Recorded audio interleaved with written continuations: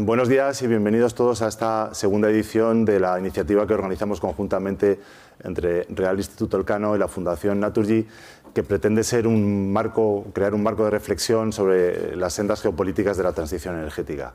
El año pasado, justo hace un año, el 19 de mayo del año pasado, hablamos eh, específicamente sobre Oriente Medio y las implicaciones de la transición energética en esta región del mundo y hoy queremos abordar y debatir sobre la transición, eh, sobre la relación transatlántica. Para abrir esta eh, sesión, que organizamos de manera híbrida, con presencia física aquí en la sala y con más de 800 personas registradas online, tenemos la fortuna de contar eh, con Charles Powell, director del Real Instituto Olcano, y con Francisco Reinés, presidente de Naturgy, a quien cedo ya la palabra.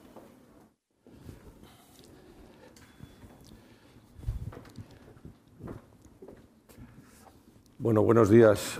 buenos días a todos, tanto a los que eh, están aquí hoy presencialmente en nuestro auditorio de Avenida América como a todos los que están conectados vía, vía telemática.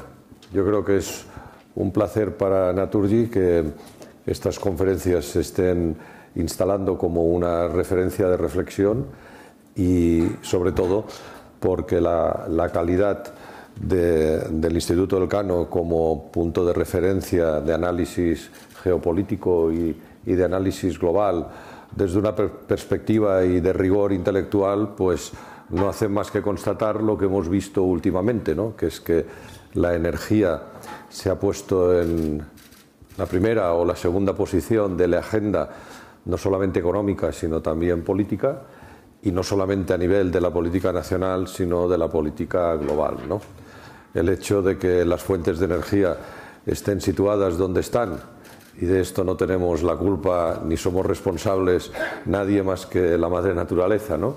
Y el hecho de que a partir de esos diferentes equilibrios geográficos con las particularidades políticas de esas zonas, pues los vectores geopolíticos sean tan relevantes a la hora de tomar decisiones de política energética, pues pues yo creo que hacen aún mucho más valiosa eh, esta serie de reflexiones que la Fundación Naturgy tuvo a bien eh, impulsar eh, con la iniciativa de su presidente Rafael Villaseca y que el Instituto Elcano pues, ha tenido a bien aceptar el reto y complementar nuestro interés con su, con su conocimiento. ¿no?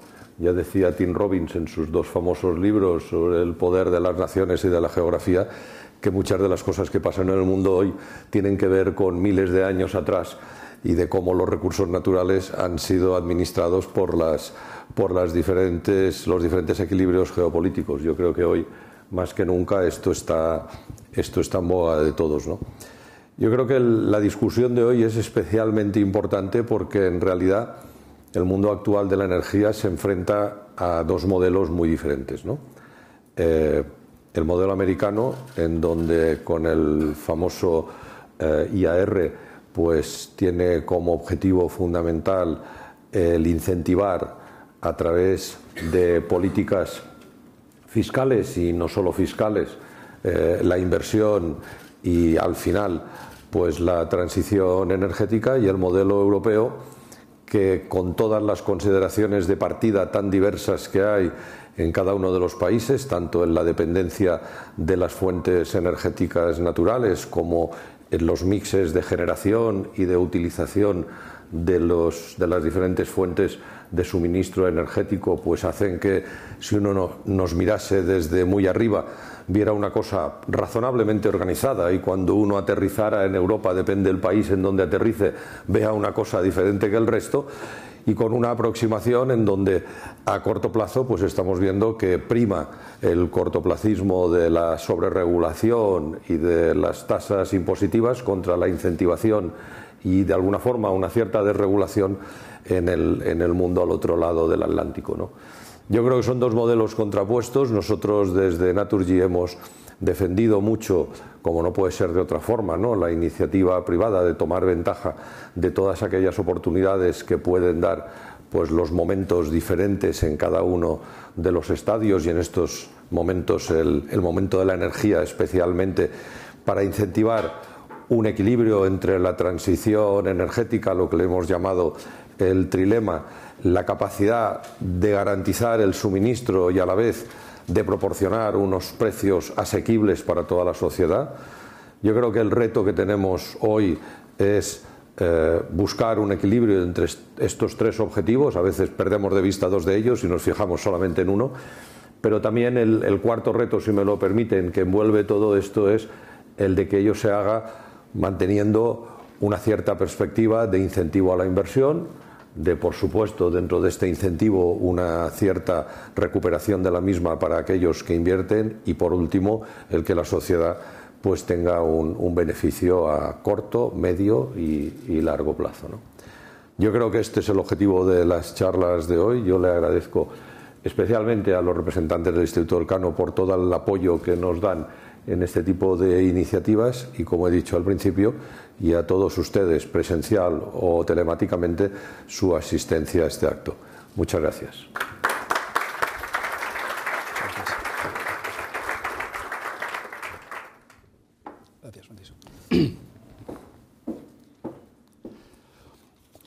Buenos días. En nombre del Real Instituto Elcano, yo quería empezar dando las gracias a la Fundación Naturgy que hoy nos acoge y expresar mi enorme satisfacción y la del Instituto por la celebración de estos actos, de estos debates.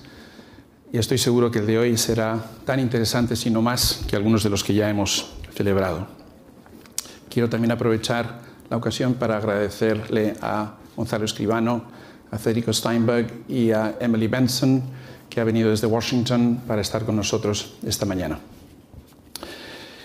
Hoy es eh, el Día de Europa, 9 de mayo, San Roberto Schumann, como dicen algunos en, broma, en Bruselas. Y por lo tanto es un buen día para reflexionar sobre la Unión Europea, sobre su lugar en el mundo y muy especialmente sobre las relaciones transatlánticas, nuestras relaciones con Estados Unidos.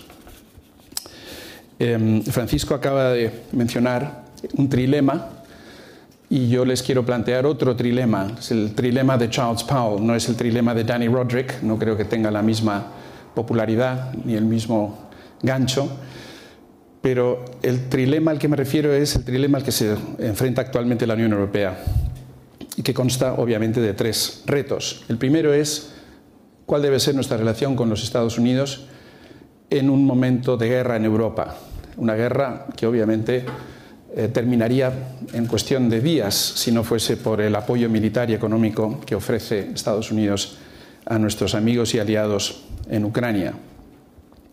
En segundo lugar, el gran reto que representa el auge de China. ¿Cuál debe ser la política de la Unión Europea hacia China?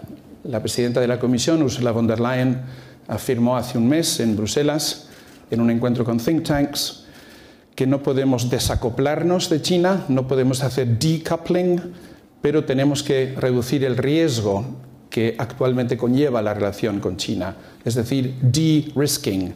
Y para mí el gran reto al que se enfrenta la Unión en relación con China es precisamente cómo lograr este de-risking sin llegar al decoupling. No está nada claro cómo se hace esto exactamente ni el coste económico que puede tener. Y el tercer reto al que nos enfrentamos es la relación de Europa con eso que ahora hemos venido a llamar el sur global, expresión que por cierto no me gusta, me recuerda un poco a cuando los rusos nos, llaman a nosotros el occidente colectivo. Eh, como sigamos insistiendo en esto del sur global, los del sur global se van a creer que realmente son el sur global y van a empezar a actuar como un bloque en contraposición con nosotros. Y creo que esto es algo que no nos interesa en absoluto. Pero en todo caso, digamos que la relación entre Europa y las economías emergentes, economías que no están aplicando sanciones contra Rusia, economías como la de India, la de Sudáfrica, la de Pakistán, la de Israel, curiosamente, la de México, eh, estas relaciones son muy importantes para nosotros. Centrándome brevemente en la relación transatlántica, yo diría que lo que realmente define en la actualidad la relación transatlántica, y esto es muy preocupante para nosotros, es el desequilibrio el equilibrio cada vez más asimétrico, si se quiere, que existe entre Estados Unidos y la Unión Europea. Muy resumidamente. En primer lugar, estamos hablando de un desequilibrio económico. En el año 2008, la economía europea era más grande en tamaño que la economía norteamericana. Hoy, la economía estadounidense es un 50% más grande que la economía europea. Nos entretuvimos tanto denostando al presidente Trump, con mucha razón, por cierto, que perdimos eh, de vista el hecho de que la brecha económica entre la Unión Europea y Estados Unidos se estaba ampliando preocupantemente. En segundo lugar, se ha ampliado la brecha tecnológica. Las cinco grandes empresas tecnológicas norteamericanas dominan por completo el mercado europeo. Y en la Unión no hemos sido capaces de crear campeones europeos ni de apoyar adecuadamente a nuestros campeones nacionales. En tercer lugar, está aumentando la brecha militar. Los Estados Unidos gastan aproximadamente 800.000 millones de dólares al año en defensa. Nosotros gastamos un poco más que antes, un poco por encima de los, de los 200.000 millones de dólares, pero Estados Unidos gasta el siete, veces más que nosotros en tecnologías punta en el ámbito de la defensa. Todo ello nos, eh, solo, solo nos puede llevar a una conclusión. La brecha económica, militar y tecnológica entre la Unión y Estados Unidos está aumentando. Y esto se traduce básicamente en una creciente irrelevancia de Europa a ojos de Estados Unidos. Por cierto, ha habido mucha más continuidad entre la administración Trump y la administración Biden de lo que jamás hubiéramos esperado. La filosofía imperante en Estados Unidos sigue siendo America First. Quizás no America Alone, pero sin duda America First. Y creo que esto se puso dolorosamente de manifiesto durante el proceso de aprobación del Inflation Reduction Act, del IRA. Lo interesante de este proceso es lo siguiente. Este fue un debate que se produjo durante más de un año, a plena luz pública. Y en ningún momento los Estados Unidos se detuvieron para pensar cómo podía afectar a Europa el Inflation Reduction Act. El hecho de que se estuvieran inyectando unos 376 mil millones de dólares en la economía norteamericana que obviamente iba a tener un gran impacto en nuestras empresas y en el eh, marco energético mundial, no mereció ningún interés por parte de Estados Unidos. Los canadienses estuvieron mucho más alerta, pudieron intervenir en el proceso y lograron importantes exenciones para sus empresas y sus productos. Los europeos, que sabíamos que se estaba haciendo esto, no intervenimos hasta que era demasiado tarde. Y creo que este es un tema que quizás debamos plantear a lo largo del día de hoy. La indiferencia de Estados Unidos frente a eh, los intereses europeos y cómo debemos reaccionar en la Unión Europea frente a uno de estos dilemas que componen el trilema de Charles Powell. Nada más, muchísimas gracias.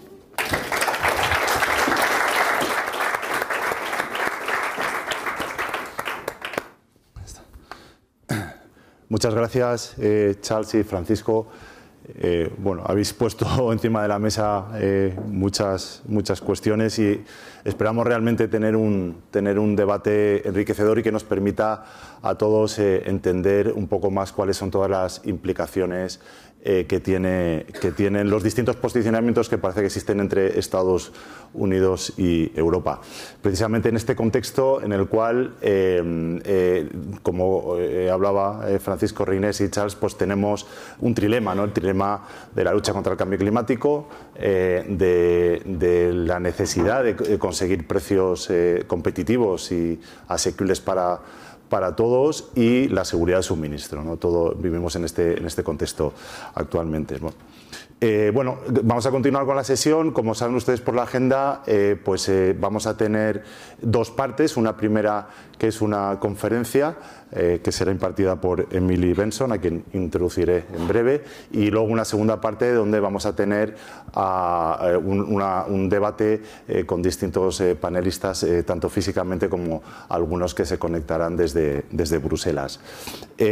bueno, para esta primera parte, para esta primera parte de la, de la sesión, tenemos la fortuna de contar con nosotros con Emily Benson, Eh, Emily is a Director of Project on Trade and Technology and Senior Fellow of Culture in International Business at the Center for Strategic and International Studies, el CSIS.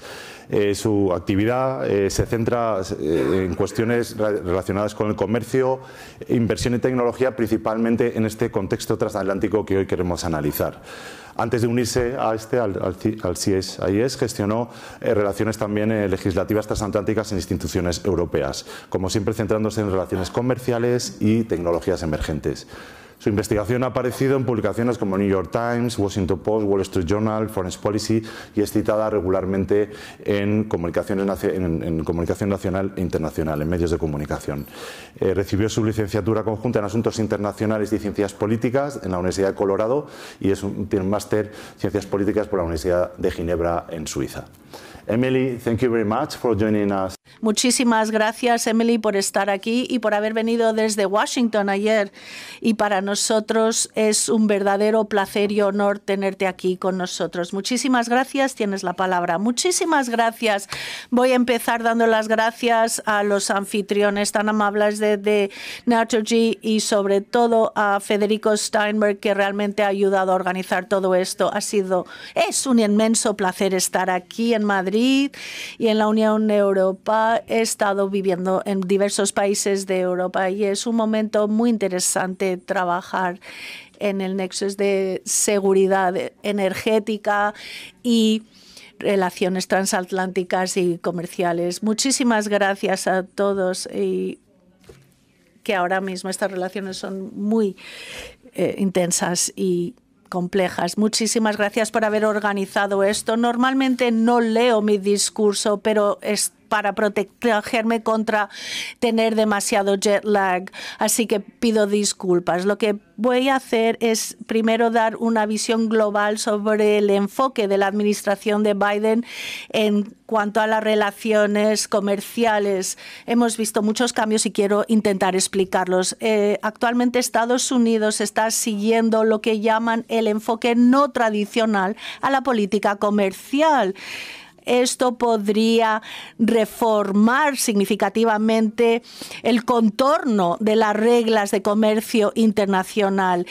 Esto incluye el próximo acuerdo global sobre el acero verde y aluminio y también acuerdos comerciales más pequeños como el IPEF o el TTC, que es el Consejo, de Comercio y Tecnología entre Estados Unidos y Unión Europea queremos responder a una pregunta muy sencilla. ¿Qué significa todo esto en el contexto transatlántico? ¿Cómo afecta esto a España y las relaciones a largo plazo transatlánticas. Hay dos puntos principales que son muy importantes en este contexto en cuanto al enfoque de la Administración en el comercio. La primera es la urgencia de combatir la emergencia, la urgencia climática, y la segunda es una cada vez mayor inyección de preocupaciones de seguridad nacional y también consideraciones económicas que están dentro de este acuerdo global sobre el acero y aluminio sostenible. Es decir, para tener un tipo de sistema para deshacerse de algunas tarifas de la administración de Trump para también abordar algunos productos verdes, pero es sobre todo un mecanismo para aplicar tarifas sobre los eh, productos y capacidades chinas o aranceles para a los americanos de China, para Europa, las prioridades es descarbonización. Si podemos ir todos en una dirección única y matar tres pájaros con una piedra, pues queda por ver pero a veces los objetivos son divergentes. También quiero ahora hablar sobre la ley de reducción de la inflación también tengo ciertas reservas al respecto, como os he dicho antes, pero después de una visión general de mi perspectiva y hablar de la percepción estadounidense sobre esta nueva ley, vamos a ver cómo el enfoque de Bruselas se solapa con la americana y luego ver cuáles son las divergencias y qué podemos aprender sobre esto. La IRA, como todos sabemos, se aprobó en agosto del año pasado para fomentar inversiones para reducir las emisiones de carbono y también reforzar la investigación y desarrollo de tecnologías verdes es la inversión eh, climática más grande de la historia, casi 370 mil millones de dólares. Y junto con un gran paquete de infraestructuras esto inyecta más de 800 mil millones de dólares a la economía estadounidense, es decir, unos 80 mil al año durante la próxima década y solamente en energía es decir, solar, eólica, etcétera, a través de varios mecanismos y tendemos a pensarlo solo en el contexto de la IRA, pero si vemos los otros paquetes aprobados, es una reforma mucho mayor de la infraestructura estadounidense y la economía. La, el IRA es una combinación de ayudas, eh, créditos fiscales y avales. Por ejemplo, 96 mil millones de dólares será para reforzar fuentes renovables, sobre todo eólicas, solares, etcétera. Es algo que tendemos a olvidar de la IRA porque solo pensamos en créditos fiscales, pero en realidad hay 13 mil millones de créditos fiscales simplemente para hidrógenos o soluciones con hidrógeno, lo cual va a reducir significativamente su precio a lo largo del tiempo. Es decir, si yo fuera europea estaría pensando en la economía de hidrógeno para el futuro el impacto internacional de la IRA son las eh, ayudas que caen en tres categorías. La una es para la compra de vehículos, incluyendo un crédito fiscal de 7.500 millones para compra de coches eh, eléctricos, producción y inversión para fabricación de productos de tecnología limpia y hay todo tipo de créditos adicionales para hidrógeno o eólicos o solares. Si utilizas acero producido en Estados Unidos, puedes optar a distintos créditos fiscales. Pero realmente no sabemos quiénes van a ser los grandes ganadores, porque de momento se han centrado solo en estos fiscales, estos créditos fiscales, pero el debate probablemente va a cambiar, pero va muy despacio. La IRA está siendo implantada por diversas agencias gubernamentales en Estados Unidos aunque se pasó el año, aprobó el año pasado, todavía es muy difícil ver quiénes van a ser los grandes beneficiarios de la IRA. Sin embargo, el impacto en el comercio, como todos sabéis aquí, ha sido muy significativo. Uno de los principales factores que distinguen nuestra legislación es la dependencia de incentivos, que es un gran contraste con el enfoque europeo, pero también tiene otras funciones regulatorias que tiene como el enfoque de sanciones e incentivos y en Estados Unidos sobre todo estamos centrándonos en incentivos. Otro gran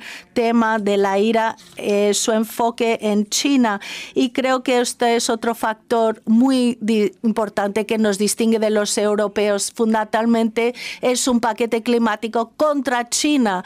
Si vemos el crédito fiscal para vehículos eléctricos define países que preocupan y eso es problemático porque hay que definir qué países son problemáticos, pero aquí quiere decir China, Rusia, Corea del Norte y Venezuela, que entra y sale del listado en Estados Unidos. No creo que haya un intento claro en el Congreso para absorber trabajos de Europa en un momento tan precario geopolíticamente. Creo que varios elementos del crédito fiscal fueron accidentales alguien dijo algo en Davos que realmente Biden no era consciente que no teníamos este acuerdo de free trade.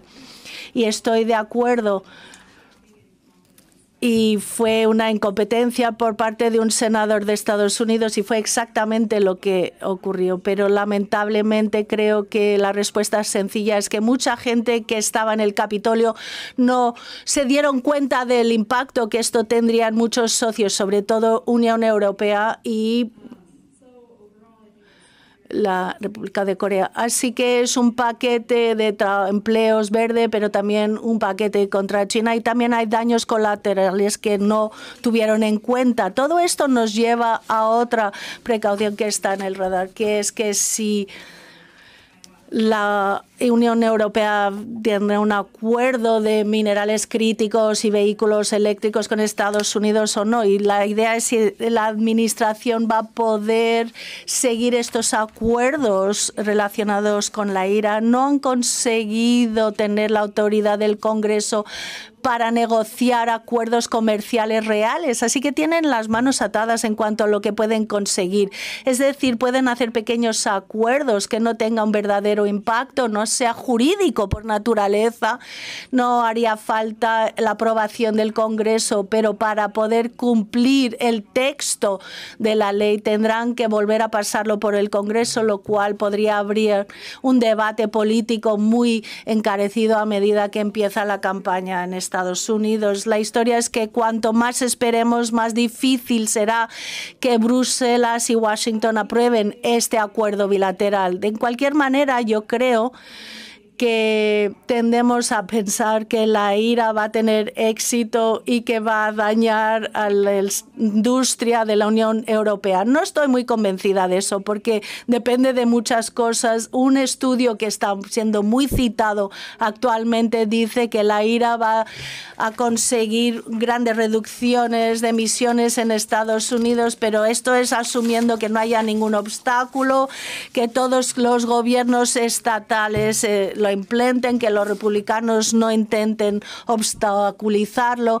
Y además vemos que va a haber un gran debate sobre las reformas. Y esta es la idea, que no vamos a poder realmente escalar lo suficientemente o con la suficiente rapidez sin rehacer algunas leyes sobre permisos por muchos motivos, pero vemos unos agrupamientos muy raros de senadores, unos de extrema izquierda en Estados Unidos, otros de extrema derecha, los ecologistas de Hawái que vienen con la gente de gas natural de IFEMA para que la ira se convierta en una realidad y a veces pensamos quitar trabajos de la Unión Europea. No, la realidad es que va a haber muchas más limitaciones y creo que es importante tener esto en cuenta.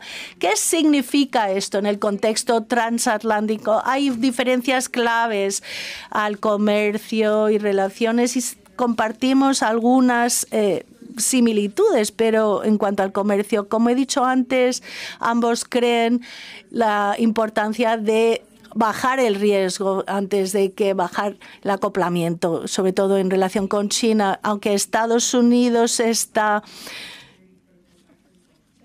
intentando reforzar sectores críticos como lo de semiconductores. Estamos totalmente alineados en el sentido de que el desacoplamiento total no es posible.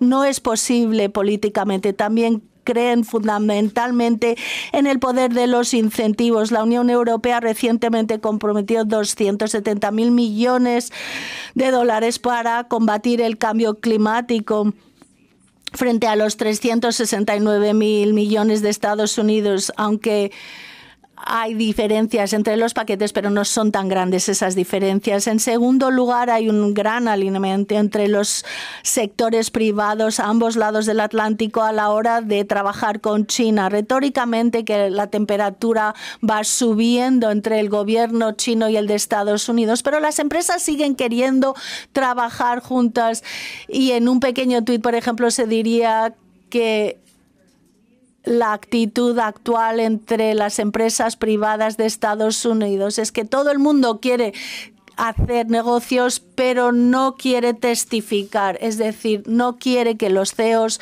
americanos tengan que defender trabajar con China. Es decir, cada vez hay menos representantes del sector privado yendo al Congreso para testificar. Esto quiere decir que la calidad de las políticas, sobre todo comerciales, que salen de del legislativo se está reduciendo. Está realmente enfriando lo que puede hacer el sector privado en cuanto a políticas comerciales.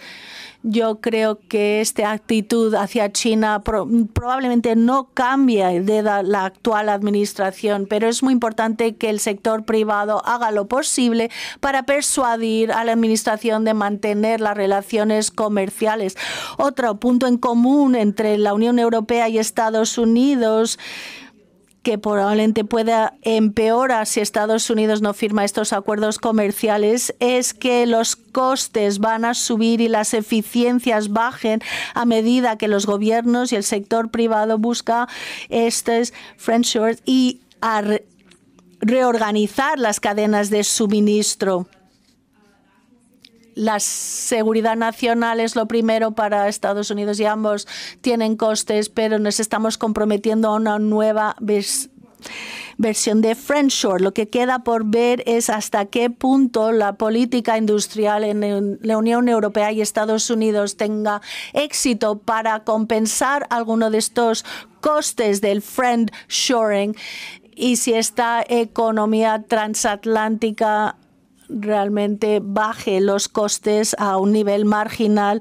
Otra preocupación compartida entre la Unión Europea y Estados Unidos es la continua amenaza por parte de China para reducir exportaciones de minerales y otros eh, productos vitales hacia la transición verde. A menudo que estos recursos son cada vez más escasos, los países se harán cada vez más proteccionistas. Creo que una retracción total global no es posible, pero ya se está reorganizando. Un giro hacia el proteccionismo podría exacerbar la fragmentación y podría derivar en unas alteraciones de la cadena de suministro mayores que podrían llevar a todo tipo de aspectos como paneles solares, vehículos eh, eléctricos, incluso medicamentos diarios. Hay que tener planes de contingencia, sobre todo en el, e, en el caso de que hubiera un evento de cisne negro en Taiwán y hay que continuar eh, hacia esta transición verde. La seguridad energética es un área clave donde puede haber una mayor fragmentación con efectos muy negativos y esto eh, puede haber mayores disrupciones y más frecuentes, es decir, la coordinación es cada vez más importante. Así que nos enfrentamos a un entorno de mayor amenaza geopolítica.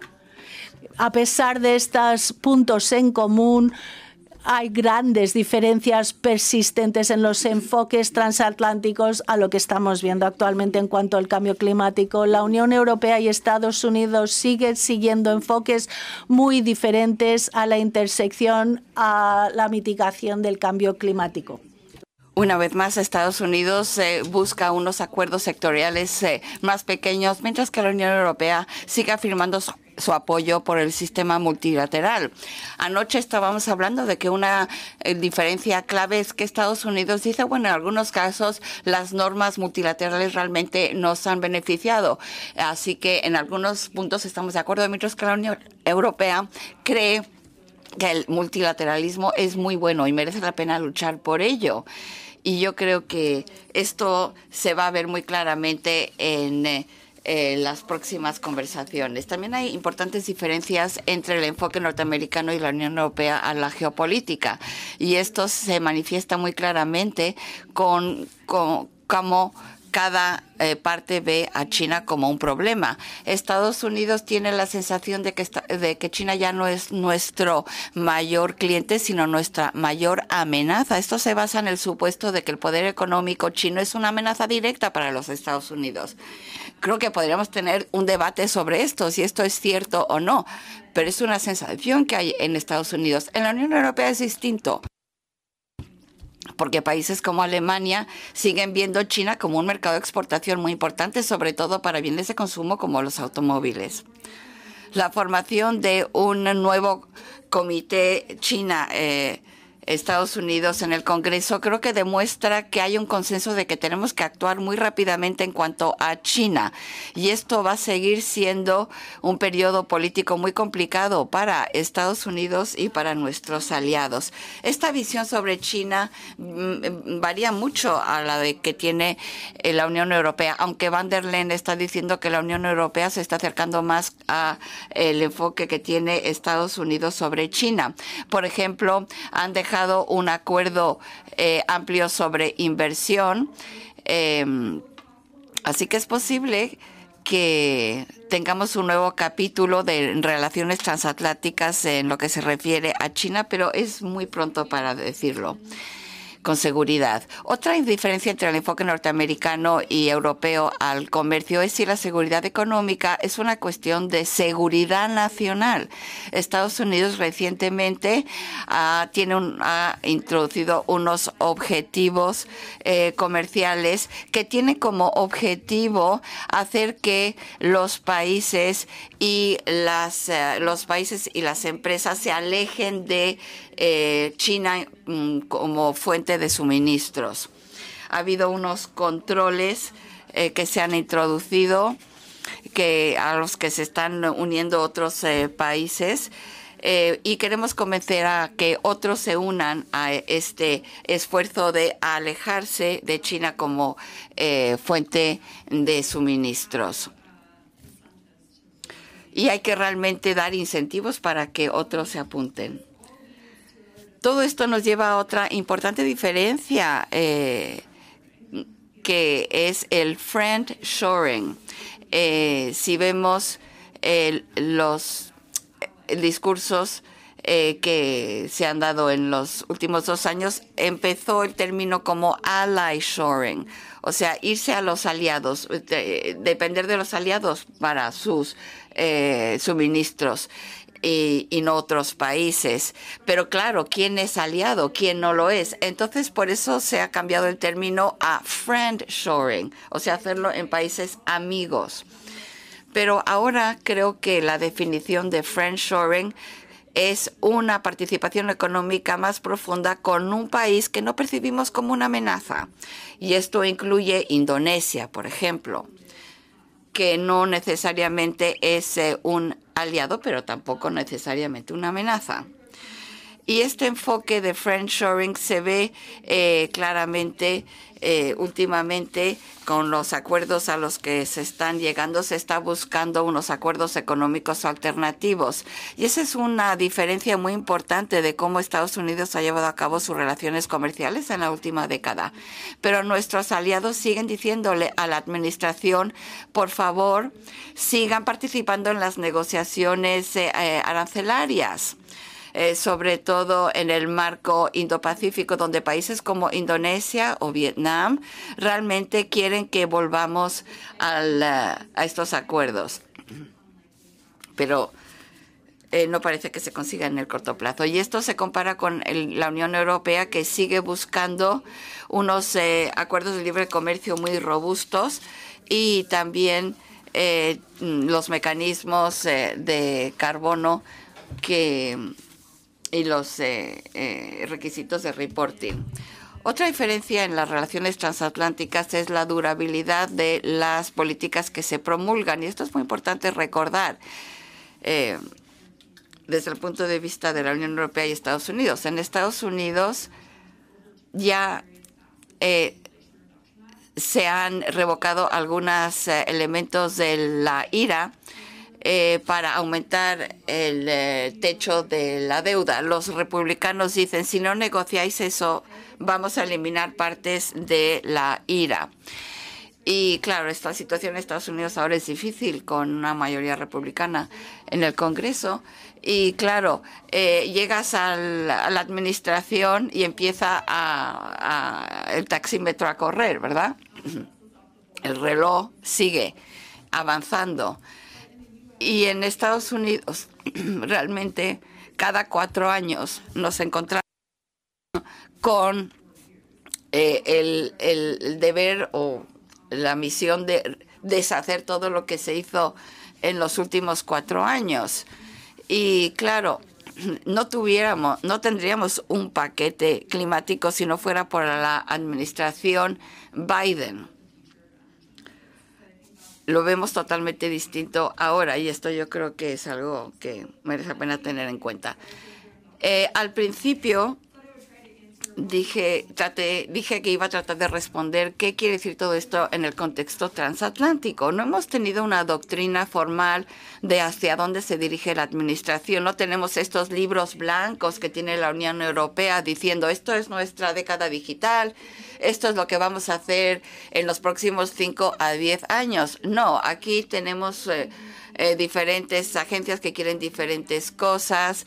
Eh, Yellen quiere ser más blando sobre China, el Departamento de Comercio quiere ser más duro con China, eh, no tenemos una política clara. Y nuestro asesor de Seguridad Nacional eh, hizo unos comentarios hace un par de semanas que realmente fue la mejor manifestación que hemos tenido hasta la fecha sobre la estrategia de Biden.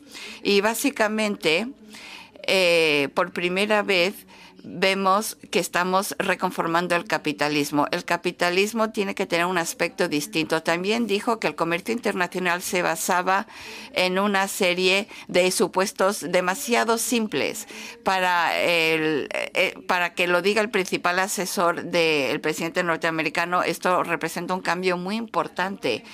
Y una de mis metáforas eh, más, eh, que me gustó más de su discurso fue que dijo que estamos pasando de un, un em, estilo muy bien organizado en filas, columnas, a el estilo Getty, que es un poquito desordenado, ¿verdad? Con eh, esas eh, eh, estructuras de acero eh, todas liadas, todo desordenado. Pues parece que este es el cambio que estamos viendo. Frank Gehry además tiene un nuevo museo que va a inaugurarse en Abu Dhabi en el 2025 y su visión artística para este museo es intencionadamente desordenado pero pasando a la claridad. Y qué coincidencia que en el discurso del asesor eh, habló de esto, de el desorden y estamos ordenando el sistema, pero va a funcionar. Vamos a hacia, esa claridad. Esto quiere decir que la administración norteamericana ahora, ahora mismo está pidiendo que tengan confianza y paciencia sus aliados.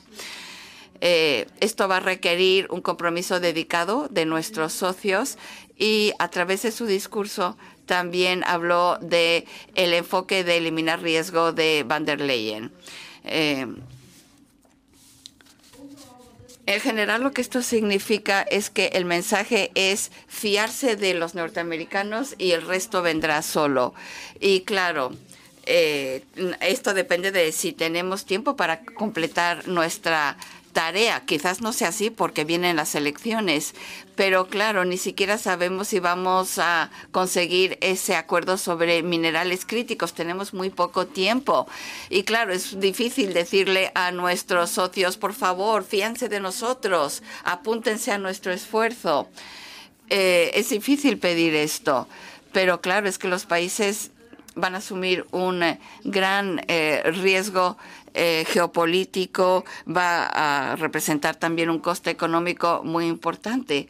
Pero hay que hacer un esfuerzo. Está claro que nuestras economías, de las economías de los aliados, tienen que hacer frente a esta nueva realidad. Nuestro secretario de Estado, Anthony Blinken, dijo en su discurso en octubre que el mundo post-Guerra Fría ha llegado a su fin.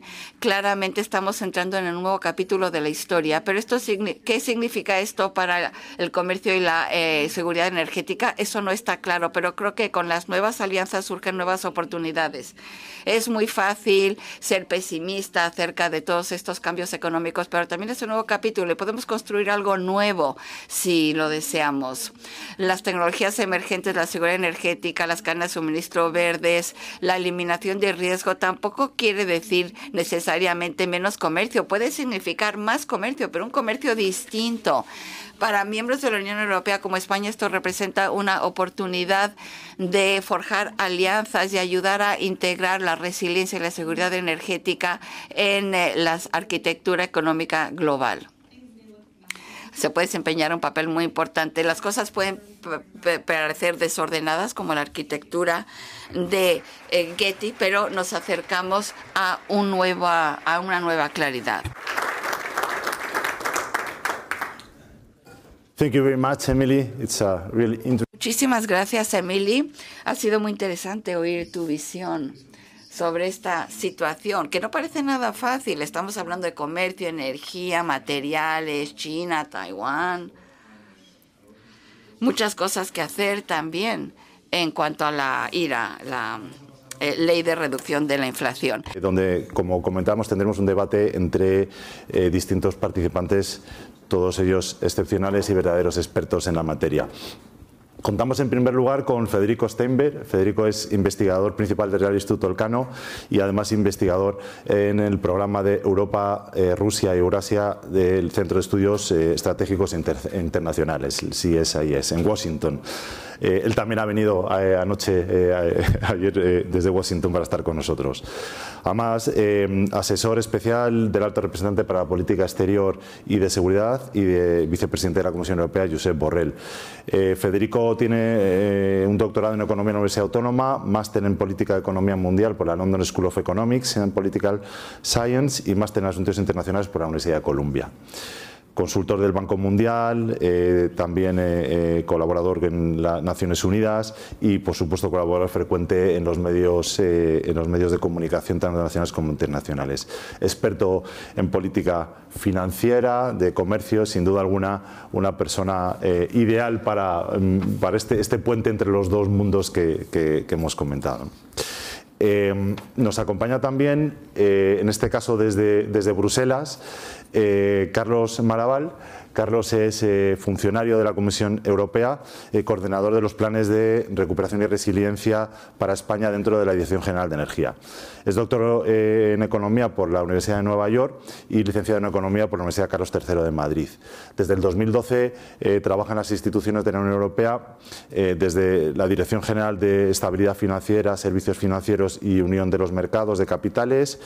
Eh, pasando por la Dirección General de Asuntos Económicos y Financieros, en el Secretariado General y actualmente en la Dirección General de Energía. Antes también ha trabajado en la Administración Pública en España, en el entorno de la presidencia del Gobierno, en el ámbito académico, en el Instituto de Empresa y la Universidad Carlos III y en consultoría financiera, en analistas financieros internacionales. Está también con nosotros desde Bruselas eh, Claudia Yáñez, que es responsable de políticas en la Comisión Europea dentro de la Dirección General de Energía, donde trabaja desde el 2020. Ella es graduada en Derecho y Ciencias Políticas por la Universidad de Barcelona y está finalizando el doctorado en Diplomacia Verde en la Unión Europea por la Universidad del País Vasco. Eh, actualmente pues, tiene especial foco puesto en el equipo de coordinación política, competencias de la transición energética, políticas de transición justa planes nacionales integrados de energía y clima y el seguimiento de la implementación del Repower EU. En tiempos eh, previos se ha dedicado especialmente al ámbito de las relaciones interinstitucionales, servicio de portavocía y comunicación política. Y finalmente tenemos también el privilegio de contar con nosotros con Marta Blanco Quesada, actual presidenta de COE Internacional. Marta pertenece al Cuerpo Superior de Técnicos Comerciales y Economistas del Estado y es licenciada en Ciencias Empresariales por la Universidad Autónoma de Madrid. Eh, cursó estudios de ciencias políticas en la Universidad Complutense y MBA por la eh, Escuela de Organización Industrial.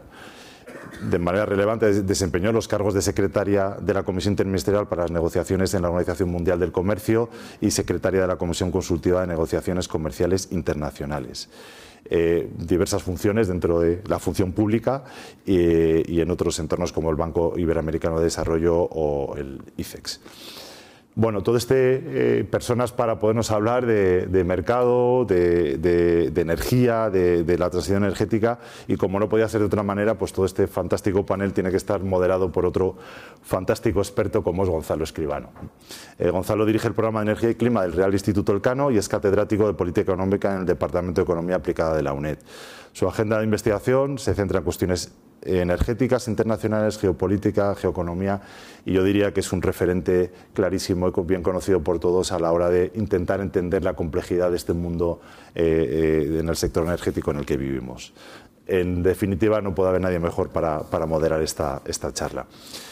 Eh, bueno, indicar a todos ustedes que pueden, eh, las preguntas que tengan las pueden enviar a través de la, para los que están conectados online, eh, a través de la herramienta habilitada del efecto y para los que están aquí en la sala, pues a través de las tarjetas que les han dado a la entrada.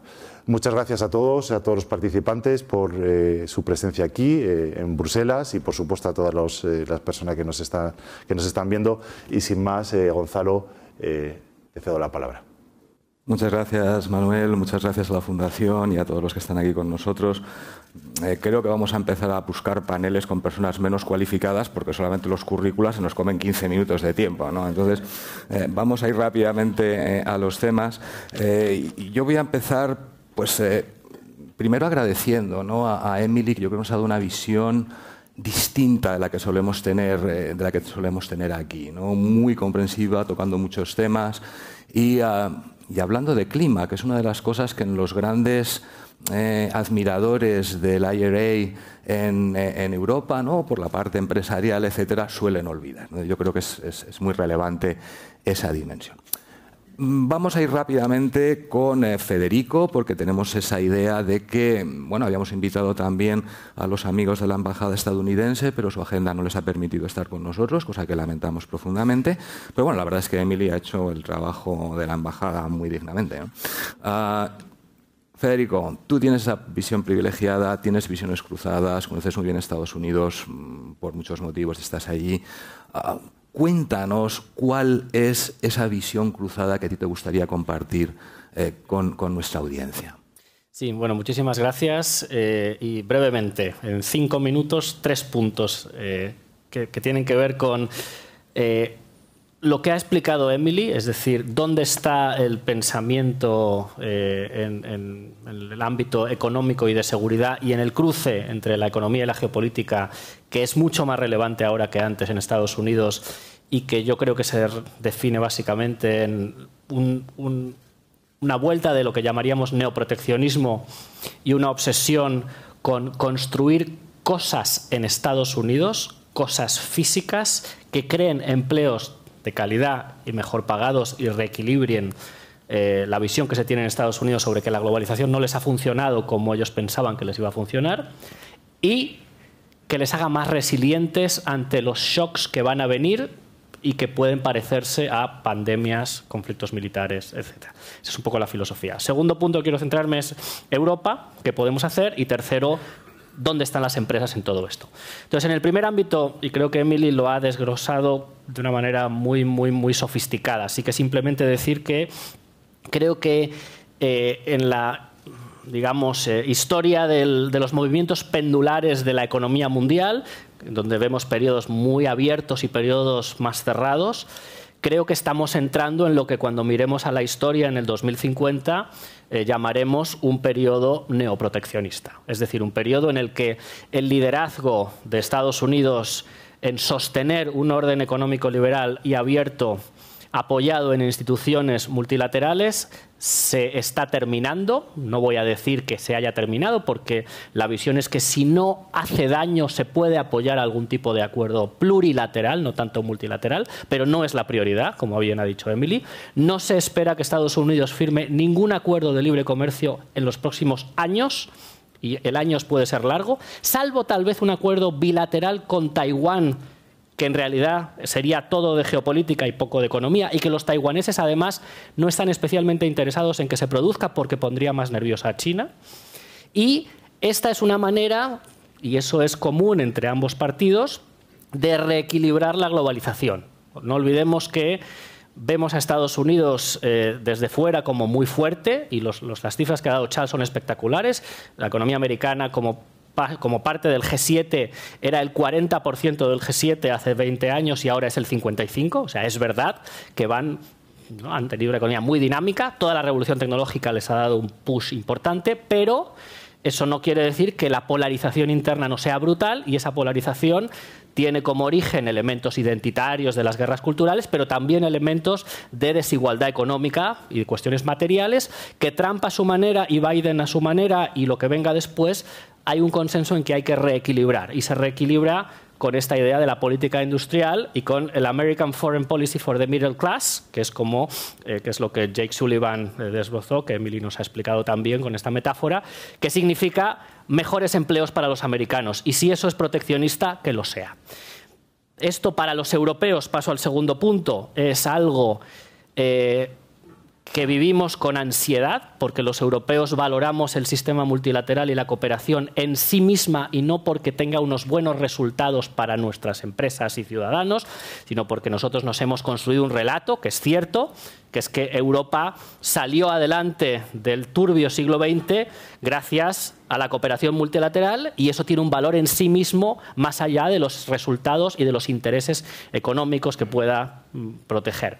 Y entonces nos vemos digamos, incómodos, inquietos ante este declive del multilateralismo. Y además nos vemos como siempre sucede, esta visión más eh, neomercantilista que arranca en Estados Unidos, tiene llega a Europa con una mezcla, porque por una parte eh, en Europa tenemos más Estado, más estado del bienestar, más intervención pública, con lo cual esa es la dirección hacia donde va la política económica americana y eso no acerca a Estados Unidos a Europa, pero por otro lado eh, tenemos unos bolsillos menos profundos, como dicen en inglés, ¿no? Eh, y entonces no podemos estar a la altura de igualar los subsidios que dan los americanos, especialmente si no nos comportamos como una unión fiscal, por no hablar de unión política. Y esto coloca a la Unión Europea en una tesitura que no vamos a entrar ahora, pero que todos conocemos, que es eh, algunos países tienen más fondos para apoyar a sus empresas, otros menos. El marco de ayudas de Estado eh, pues, debe ser protegido, eh, el mercado interior debe ser protegido, es la joya de la corona, y es sobre lo que tenemos que apoyarnos si queremos tener más músculos, sobre todo para los temas digitales, donde claramente vamos por detrás. Yo creo que en clima no vamos tanto por detrás, y en transición energética, en, digital sí, y los debates sobre GPT-4, etcétera, nos, lo ponen sobre la mesa. Eh, Europa regula, pero no innova, y ahí tenemos un problema, y, no sabe monetizar esa innovación tan fácilmente. Pero ha llegado el momento, y eso es lo que estamos defendiendo en parte desde el Instituto Elcano, estamos trabajando sobre eh, qué tiene que hacer la Unión Europea en su modelo económico para dar respuesta, y todos los caminos conducen a una unión fiscal que para hacerla bien habría que pues, ¿no? modificar los tratados, y sabemos que eh, este es un melón que no sabemos si queremos abrir, ¿no? pero en una situación de guerra en Europa, el IRA en Estados Unidos, la necesidad de repensar la política económica un entorno geopolítico tan distinto, posiblemente, si no es ahora, ¿cuándo? ¿no? De alguna manera. Y algunas cosas están, están cambiando. Sabemos que la Unión Europea siempre ha reaccionado con mayor integración cuando está en una crisis y cuando tiene un enemigo externo o una presión externa. Y este es, el momento. Un, minuto más por último. ¿Dónde quedan las empresas? Yo creo que, como se ha explicado, lo que está sucediendo es que hay unas enormes eh, cantidades disponibles a ambos lados del Atlántico, posiblemente en Estados Unidos más fáciles de ejecutar y de implementar, de ayudas para un montón de sectores, pero particularmente con lo que tiene que ver con la transición energética. Aunque, como te dicen los americanos cuando estás en seminarios, tenemos que hacer todo. Tenemos que hacer, por supuesto, renovables, pero tenemos que hacer también gas y tenemos que hacer también petróleo porque la demanda es enorme y no vamos a llegar sino. Por lo tanto, yo creo que hay un poco para todo. Sí con la idea, y el IRA lo introduce, de que la economía política de alguna manera cambie. El IRA tiene pensado invertir mucho en estados republicanos para que, digamos, eh, durante 10 años habrá muchas subvenciones e incluso aquellos que no creen mucho en el cambio climático consideren que es una buena idea eh, hacer inversiones en la lucha contra el cambio climático porque eso le va a generar empleos y, dinamismo. Yo creo que, por lo tanto, para las empresas europeas instaladas en Estados Unidos o con idea de instalarse, las oportunidades son muy grandes y creo que esto requiere eh, mirarlo con cuidado y aprovecharlo. Y al mismo tiempo creo que en la parte europea algunas de las cuestiones sí que vamos a poder, digamos, eh, igualarlas. Yo creo que ese pesimismo, y esto estando en Washington se ve mucho, la Unión Europea no es particularmente relevante, no ocupa mucho espacio mental en el pensamiento americano, en parte porque somos un aliado y no generamos problemas, pero de alguna manera, eh, pues muchas veces tenemos que levantar la mano y decir, bueno, aquí hay algunas cosas donde queremos que la relación transatlántica esté más equilibrada, volviendo. Así que lo voy a dejar aquí. Muchas gracias. Muchas gracias, Federico. Eh, Carlos, espero que nos, que nos escuches eh, correctamente. Uh, ¿Me escucháis a mí, vosotros? Sí, te escuchamos bien. Eh, quizás si puedan subir un poco el volumen se escucharía mejor en, en control. Carlos, la pregunta de Federico ha sido muy clara. En, la enésima crisis de la Unión Europea eh, vamos a responder. Yo estoy seguro que desde DG Energy y desde la Comisión tenéis una visión ah, un poco más de largo plazo ¿no? de, vuestros proyectos. Eh, pero vamos, te dejo responder por ti mismo la pregunta que ha dejado Federico en el tintero. Y, muchas gracias por sumarte eh, a este debate hoy con nosotros. Bueno, muchas gracias a vosotros. Yo creo que me voy a quedar con una si hay ya distancia entre Estados Unidos y Europa, mm, yo al menos estoy percibiendo que también hay cierta diferencia en las posiciones que hay en Bélgica, en Bruselas y en Madrid. No, no sé si Claudia va a compartir lo mismo, pero bueno, em, por decirlo de alguna forma, hemos eh, hecho frente, yo creo que ha sido el mayor reto geopolítico de la Unión, en que nuestro mayor proveedor de energía ha querido cortar el grifo y nos ha montado una guerra en la parte de atrás, básicamente. Y, creo que a veces en ocasiones en España, quizás como tuvo lugar en la anterior crisis en el norte de Europa, al pensar en el sur de Europa, eh, estáis en una posición de lujo a la hora de, pensar en, cuestiones como seguridad de suministro, etcétera. Y aquí en el norte de Bruselas seguimos un poco em, pensando en eso, ¿no? Em, volviendo un poco a lo que hablabais un poco de equilibrio, yo creo que hay muchos problemas que son mundiales, es cierto, pero también hay muchos problemas que son locales. Y aquí desde, desde Europa em, hemos tenido que hacer frente a, a ese reto y quizás un, pequeño ejemplo para demostrar eh, hasta qué punto la situación ha, sido precaria, si quieres. ¿no? Eh, teníamos unas infraestructuras eh, para licuar gas y meterlo dentro de, las, de, los, gas, de los conductos europeos que estaban completamente superadas y hemos tenido que recurrir a traer eh, em, gas que mm, se depositaba en el Reino Unido y después se, se, enviaba a través de los conductos por debajo del Canal de la Mancha para poder mantener, em, pues básicamente encendido la Unión, ¿no? encendida la luz y la calefacción este año pasado. ¿no? Eh, está dando, por supuesto, que hemos salido de ahí. Yo creo que desde la DGNR no, no somos tan, no queremos tener tanta ciencia cierta de que esto es así, y pensando un poco en lo que mencionáis de, cuáles son nuestros mm, principales proveedores, quizás lo que habría que señalar es que si, vamos a pensar en cuáles son los retos de la Unión Europea, en vez de haber invitado a una, persona de Estados Unidos, habría que haber invitado a alguien de Noruega, porque ahora mismo nuestro principal proveedor de gas es Noruega, no es Estados Unidos.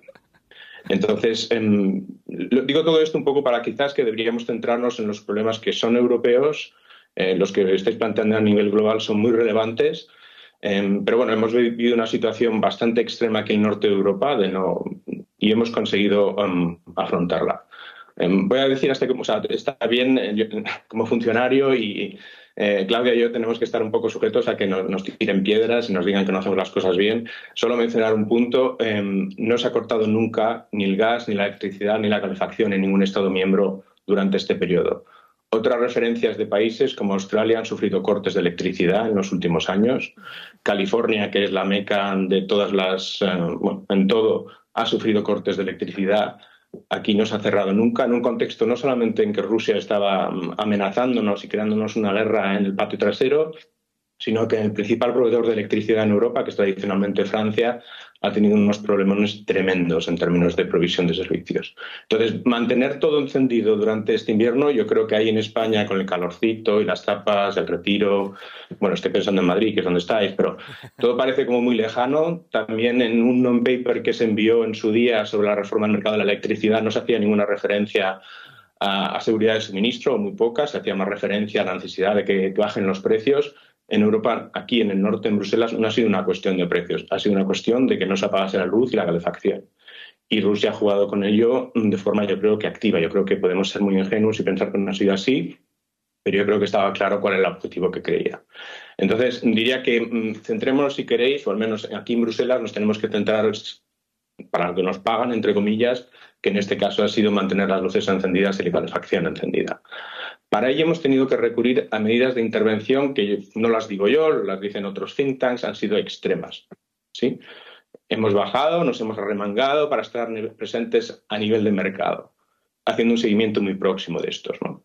Y ello yo creo que nos ha puesto un poco en situaciones en las que probablemente las empresas se ven a diario, em, porque hemos estado un poco entre la espada y la pared. ¿no? En la comisión estamos muy acostumbrados a decirles a los Estados miembros, tenéis que hacer esto y hacer esto, y poner una larga lista, ¿no? que al final pues ahora se concreta en Excel, si quieres, el mundo moderno, y si no cumplen algunos de esos tics que tienen que hacer, pues eh, claro, justificamos por qué les ha ido mal en la vida. ¿no? No, cumplieron, han sido pecadores, etc. En este año hemos tenido que tener una actuación muy distinta y es que, de hecho, le hemos tenido que pedir a los Estados miembros que no hiciesen cosas.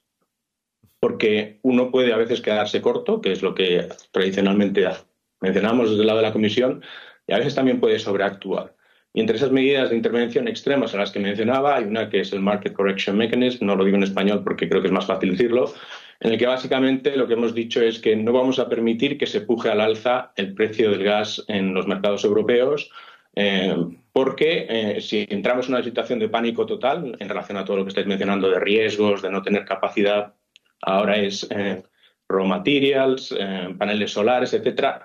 En agosto era gas y estábamos pujando por encima del mercado internacional. ¿sí? Es en concreto un Estado miembro que sabéis, Alemania, estaba fijando precios y estábamos viendo distorsiones de mercados incluso intraeuropeos, ¿no? en que había diferencias de precios entre el gas que se pagaba en el TTF, la referencia de aquí de medio de Centro Europa, y, em, y bueno, Francia, España, etc. Entonces, estar tan a nivel de mercado como hemos tenido que estar durante este último año es algo realmente en lo que no es habitual. Yo personalmente, no quiero hablar en nombre de la comisión, no me siento cómodo, eh, pero bueno, aquí, si hay que remengarse, lo hacemos. Y, al mismo tiempo ya ha sido posible básicamente porque las administraciones hemos sido un poco de las administraciones públicas, quiero decir, de la mano de hogares y empresas para hacerle frente.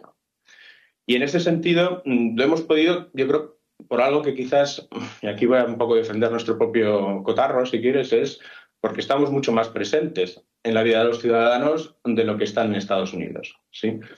Em, por varias razones. Yo creo que la principal es eh, Estados Unidos tiene unos recursos naturales que simplemente en Europa no existen. Entonces, si queremos vivir con un nivel de vida como el que vivimos, en el que no tenemos gas, el principal oferta de gas que es Groningen se está acabando y genera terremotos, mm, prácticamente no tenemos petróleo, tenemos que tirar ahora de otros estados que también son terceros, como el Reino Unido y Noruega, para que nos faciliten gas y petróleo del Mar Norte, pues entonces tenemos que estar sistemáticamente tratando de coordinarnos, ponernos de acuerdo, etcétera, para precisamente, o tenemos muchas más limitaciones, si quieres, frente a un Estado que, que, tiene recursos naturales como Estados Unidos y eso nos exige pues, adoptar cosas como los planes de recuperación, en los que simplemente no podemos restringirnos a simplemente pensar en unas inversiones concretas para unas cosas concretas, sino que tenemos que pensar de una forma bastante conjunta como sociedad cómo podemos vivir en un mundo en que los combustibles fósiles van a tener que estar menos o mucho menos presentes en nuestra vida, para empezar por eso, porque hemos perdido al principal proveedor. ¿no? Em, y los planes de recuperación, en ese sentido, yo creo que compararlos uno a uno con Estados Unidos quizás no, no, no, no es del todo claro, porque tienen muchísimas más medidas pues eso, ¿por qué hemos podido sobrevivir este año? Pues también porque tienes un transporte público en el que no recurres sistemáticamente, eh, tienes electricidad que es generada con, con, molinillos, tienes electricidad generada con paneles solares, tenemos unas energías renovables que son mucho más presentes en Europa que en Estados Unidos. Y volviendo un poco al tema que planteaba Emily, que yo creo que es muy relevante, el, empujón que le ha dado Estados Unidos, básicamente, que es los Inflation Reduction Act, Em, bueno, es que Estados Unidos tenía que hacer bastante catching up y todavía tiene que hacer bastante catch up con Europa y con China. Entonces, yo en ese sentido, mm, a efectos de un incentivo monetario en el presente que puede dejarnos detrás, es cierto, pero la gran referencia en instalación de energías renovables no es Estados Unidos, es China para Europa. El gran país que está desarrollando sus vehículos eléctricos no es Estados Unidos, sino es China, por mucho que Tesla sea la compañía en la que todos nos fijamos. Y, yo iría un poco a estos temas, A, los temas que son problemas de la Unión Europea, a los que tenemos que hacerles frente y que en este año mm, yo diría que hemos hecho frente al mayor reto que hemos tenido nunca, porque si se hubieran apagado las luces y no hubiéramos tenido calefacción en países como Alemania, etcétera, pues quizás la posición que tendríamos hoy frente a Ucrania podría haber sido distinta. ¿no? Está claro. Muchas gracias, Carlos. Y yo me, quedo con esa idea de que nuestro IRA son los planes de recuperación y resiliencia, que no solamente afrontan eh, una crisis eh, económica y de transición, sino también una crisis geopolítica. ¿no? Entonces me parece que ese es un tema eh, verdaderamente relevante. Yo, le preguntaría a Claudia, Claudia, espero que me escuches con, correctamente. La pregunta, ¿estamos preparados para esa transición energética, esos fondos de resiliencia y recuperación? ¿Tenemos las capacidades, tenemos los skills? Ah, ¿Cómo crees tú que estamos trabajando en Europa en ese, en ese ámbito? Eh, muchas gracias, Gonzalo. Bueno, pues complementando un poco con lo que viene diciendo mi compañero Carlos, es que eh, nosotros el año pasado nos enfocamos en el repower, vivíamos una situación que no se ha vivido en Estados Unidos, que desde el norte de Europa se ha vivido de una forma más fuerte, más en términos de seguridad nacional, es decir, que no se corte la luz, que se pueda proveer con los servicios básicos para los ciudadanos europeos y ha sido a través del repower. Y básicamente nuestra respuesta, por decirlo de algún modo, al Inflation Reduction Act ha sido una combinación como un follow-up del Repower EU, ya que el Net Zero Industry Act, NCA, y el Green Deal Industrial uh, Plan beben de los objetivos de Repower EU y de los objetivos del Pacto Verde Europeo que se anunció en 2019 por la presidenta von der Leyen. Y básicamente nuestros objetivos con el Repower EU era aumentar la eficiencia energética, aumentar el desarrollo de las energías limpias y además diversificar eh, suministro. En este caso nos estábamos enfocando en el suministro energético. Ahora nos estamos eh, enfocando en el suministro pues, de critical raw materials. Em, y esto se debe a que el mapa y el contexto de Europa es diferente, es, es, europeo. Entonces tenemos, como bien decía Carlos, enfocarnos en lo que tenemos en casa, porque si no trabajamos desde una perspectiva doméstica, no vamos a poder hacer frente a lo que se está viviendo en el resto del mundo y en el mapa geopolítico tan cambiante y multipolar como, lo, ha, dibujado Federico y como lo ha, ha dibujado también Emily.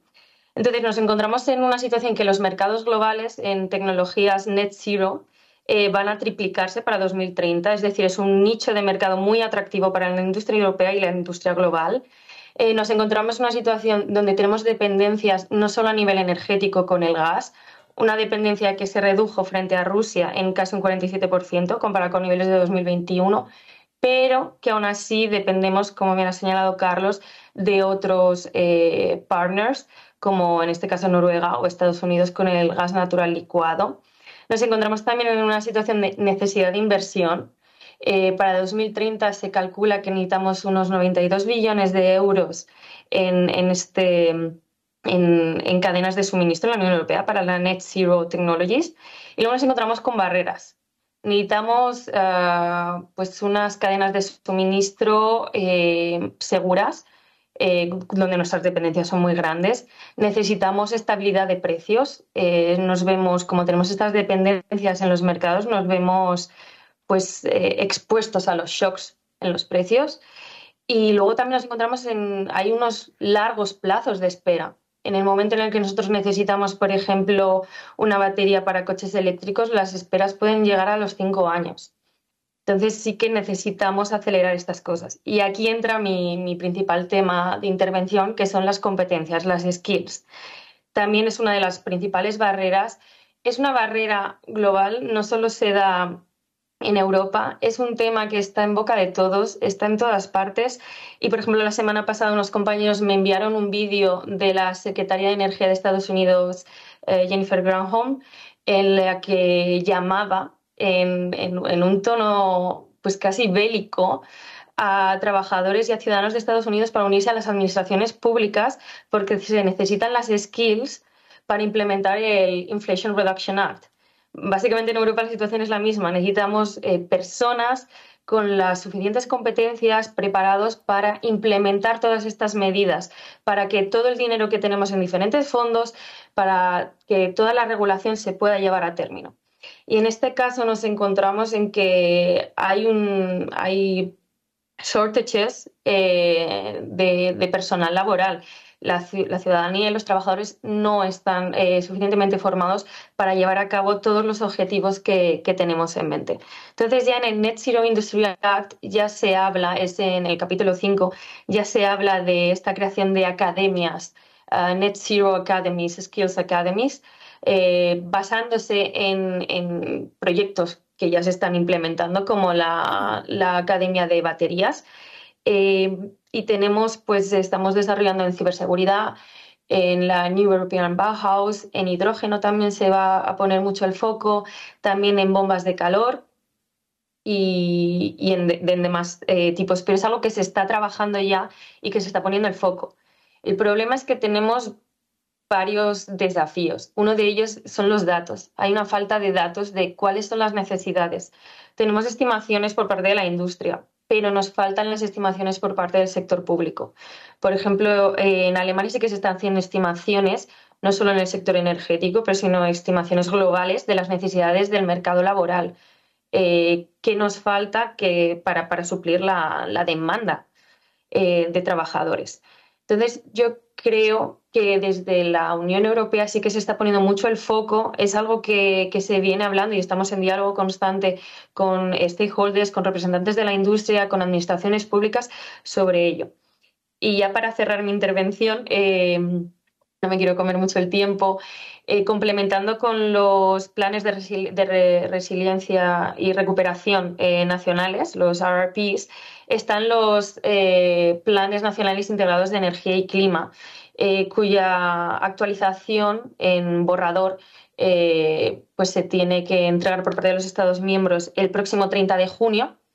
Y los planes finales actualizados se tienen que entregar el 30 de junio de 2024 y en ellos se hace un especial foco en la competitividad. Es una de, de las cinco dimensiones de la Unión de la Energía y se hace una referencia también a ello en, lo, en el NCA, en el eh, Net Zero Industry Act.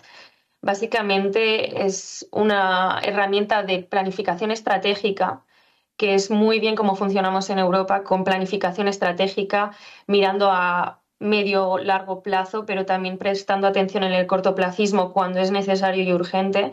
Y entonces eh, yo creo que es una buena eh, oportunidad no tanto para la financiación, ya que los planes son una estrategia de planificación, sino también para mirar de cara al futuro cuáles son las necesidades, dónde se tiene que poner más enfoque, cómo podemos diversificar las cadenas de suministro y cómo podemos preparar a nuestros eh, trabajadores de las administraciones públicas, en el caso de acelerar el permitting, eh, pero también a, los, a los ciudadanos y a los jóvenes que están estudiando y necesitan formarse para llevar a cabo la transición energética. Y hasta aquí mis primeras palabras. Muchas gracias. Muchas gracias, Claudia. Vamos a pasar, después de, esta visión por parte de, de un poco a cómo veis eh, las empresas eh, esta situación. Eh, Marta, ¿cómo crees tú que debería responder la Unión Europea, o debería haber respondido ¿no? a, toda la crisis que hemos tenido con Ucrania? ¿Cuál crees tú, cómo veis vosotros el IRA desde las empresas? Supongo que veis el vaso medio lleno de oportunidades, pero supongo que algunos de vuestros eh, afiliados verán el vaso medio lleno de al proteccionismo que mencionaba Federico. Eh, pero también es verdad que, hablando contigo ayer me comentabas, hombre, es que a lo mejor ¿eh? y esto a lo mejor a los amigos de la comisión no les va a gustar, eh, hombre, pues, hay lecciones a derivar ¿no? de, este, de este elemento de Estados Unidos y cosas que podamos, aunque nosotros tengamos nuestro propio modelo, ¿no? ¿Qué, elementos podríamos ah, ver y cuál, qué, elementos podríamos incorporar en la Unión Europea? ¿Cómo, ves, cómo veis desde el, desde el sector empresarial este debate? Muchas gracias, Gonzalo. La verdad que eh, escuchando todas las intervenciones, eh, yo creo que todos tenemos la gran ventaja de participar en este evento para ordenar un poco nuestras ideas sobre un asunto que es tremendamente complejo y que se puede abordar desde tantísimas eh, perspectivas. Eh, entonces, bueno, todos hemos hecho ese ejercicio de ordenar un poco dónde estamos y, a dónde queremos llegar. ¿no? Y, tus preguntas van un poco en ese sentido, ¿no? o sea, las empresas, de dónde veníamos, dónde estamos y a dónde queremos ir, porque eh, es un, entorno ahora mismo eh, sumamente incierto. Entonces, se han hecho alusiones a de dónde veníamos, ¿no? Eh, de, una situación tremenda con la guerra en Europa, con una necesidad imperiosa, eh, acuciante, de diversificar las, fuentes de, energía en los países europeos. Eh, Carlos eh, comentaba Noruega, es verdad que es un suministrador importante, pero uno analiza los datos de España y, por ejemplo, en el caso del gas que viene de los Estados Unidos, las importaciones en España han pasado de 2.500 millones en 2021 a 10.000 un poco más de 10.000 en 2022. ¿no? O sea que eso tiene que decir que ya es la primera, el primer impacto directo que, vemos. ¿no? Entonces, eh, veníamos de, una situación en la que eh, teníamos que diversificar y a lo que nosotros vamos, las empresas, con unos costes energéticos tremendos. Porque nosotros al final del día, nosotros lo que queremos ser es eh, ser competitivos y los costes energéticos pues, no restan competitividad respecto a las empresas de, otros países. Y esta es una situación que ya teníamos antes. Esta es una situación de la que ya veníamos y que necesitábamos eh, responder. Entonces, respondemos con la guerra y en qué momento estamos ahora. Me ha gustado eh, lo que decía Charles porque lo, lo comparto. ¿no? O sea, yo creo que asistíamos a ese debate sobre lo que se estaba cociendo en, los Estados Unidos, pero bueno, no le prestábamos eh, demasiada atención. Eh, y de repente nos llega, y nos llega eh, prácticamente de un día para otro, el Inflation Reduction Act famoso. ayer comentaba que la primera vez que a mí me saltaron las alarmas no fue en España, no fue en Estados Unidos, no fue en la Unión Europea, fue en Corea, en un viaje a Corea donde eh, mis colegas coreanos empezaron a hablar de esta, iniciativa. Nosotros en, Europa pues todavía seguía, seguíamos eh, bueno, sin analizar los, resultados o, el impacto que iba a tener. Cuando ya empezamos a mirarlo, eh, bueno, pues nos, centramos muchísimo en analizar qué es lo que pasaba con, el IRA, cómo nos iba a afectar a las empresas europeas. Pero me gusta lo que se ha dicho antes. en el sentido de eh, y coincido en este caso con la Comisión, es decir, eh, que es verdad que esto nos ha provocado también eh, un debate interno a nosotros eh, sobre este famoso, no sé si dilema en este caso, pero sí trade-off que hay que romper, que es ser resilientes, necesitamos ser resilientes porque mm, se ha visto que somos muy vulnerables, pero al mismo tiempo necesitamos ser competitivos. Entonces, lo que ha hecho Estados Unidos con su iniciativa nos pone en una situación de decir, bueno, vamos a ver, es que ¿Qué podemos hacer nosotros para ser competitivos? Porque además hay una diferencia eh, fundamental en el caso de la Unión Europea y los Estados Unidos. Nosotros somos muy dependientes del sector exterior. En el caso de España, bueno, imaginémonos, eh, nuestro mm, Producto Interior Bruto depende del sector exterior en un 40%, que es mucho mayor que la mayoría de los países de la Unión Europea, no tanto como Alemania y demás, pero mucho menos que Estados Unidos. ¿no? Entonces, nosotros esta situación del multilateralismo, de los mercados internacionales, de lo que hace uno como me impacta, de lo que hago yo como impacta al otro, pues sí lo tenemos muy, muy, muy presente. ¿no? Entonces, nos pilla en esa situación en la que nosotros, más allá de lo que hagan los demás, tenemos que decir cómo tenemos que ser competitivos ante ese aumento de la competencia en el exterior.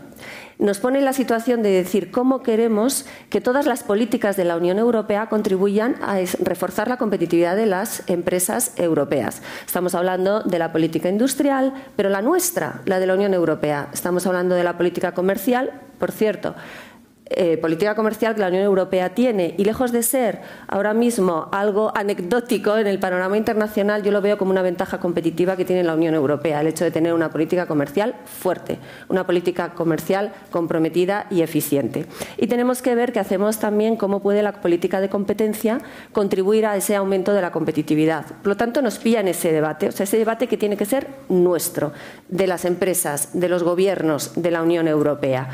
Em, y, mm, ahora la, pregunta por lo que decías, ¿qué es lo que nos gustaría? ¿no? O sea, ¿hacia dónde creemos que hay que ir en este debate? ¿no? está claro por lo que he dicho que es, no es ir a la defensiva, o sea, tenemos que tener nuestra propia, nuestro, nuestra propia hoja de ruta eh, nosotros lo que mm, discutimos, o sea, hablamos mucho entre las empresas, no solamente las empresas europeas a través de Business Europe, también con las empresas de otros países de la OCDE, en Business at OECD o con las empresas de los países del G20. Este es un debate que está, que está ahí. ¿no? Pero, mm, ¿cómo vemos en relación con, el IRA y, lo que podemos hacer? ¿no?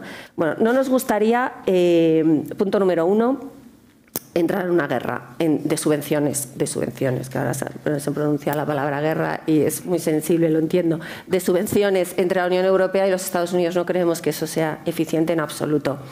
Eh, nos ha contado Emily estupendamente todos los requerimientos de contenido local. Nosotros no es que no queramos, es que no nos lo podemos permitir, el ser tan estrictos en contenido local, precisamente por esa dependencia del exterior, esa mayor vulnerabilidad que tenemos eh, en Europa. Eh, nosotros eh, necesitamos mirar las ayudas de Estado, claro que sí, pero no tanto aumentar, que también todo llegará, sino para que esas ayudas de Estado puedan ser, eh, se puedan beneficiar las empresas, las grandes, las pequeñas y las medianas. Ahí tenemos todo, todo un, debate sobre las ayudas de Estado. Todo lo que tiene que ver con los permisos todo lo que mm, eh, agilizar los permisos eh, a los que se enfrentan las, las, empresas, que además en muchos casos no son homogéneos, es también una asignatura que nosotros tenemos que aprobar en, en la Unión Europea. La sobrecarga regulatoria, cuando hablamos entre eh, la diferencia entre los Estados Unidos y la Unión Europea, siempre aparece la sobrecarga regulatoria que tenemos en la, en la Unión Europea.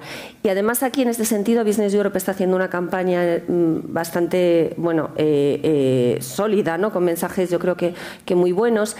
carga regulatoria que no solamente impacte positivamente en, en las industrias energéticas propiamente dichas, sino que aquellas que pertenecen a toda la cadena de suministro. ¿no? solamente centrarnos en esa mm, descarga regulatoria en las empresas energéticas, aunque en ellas también, por supuesto.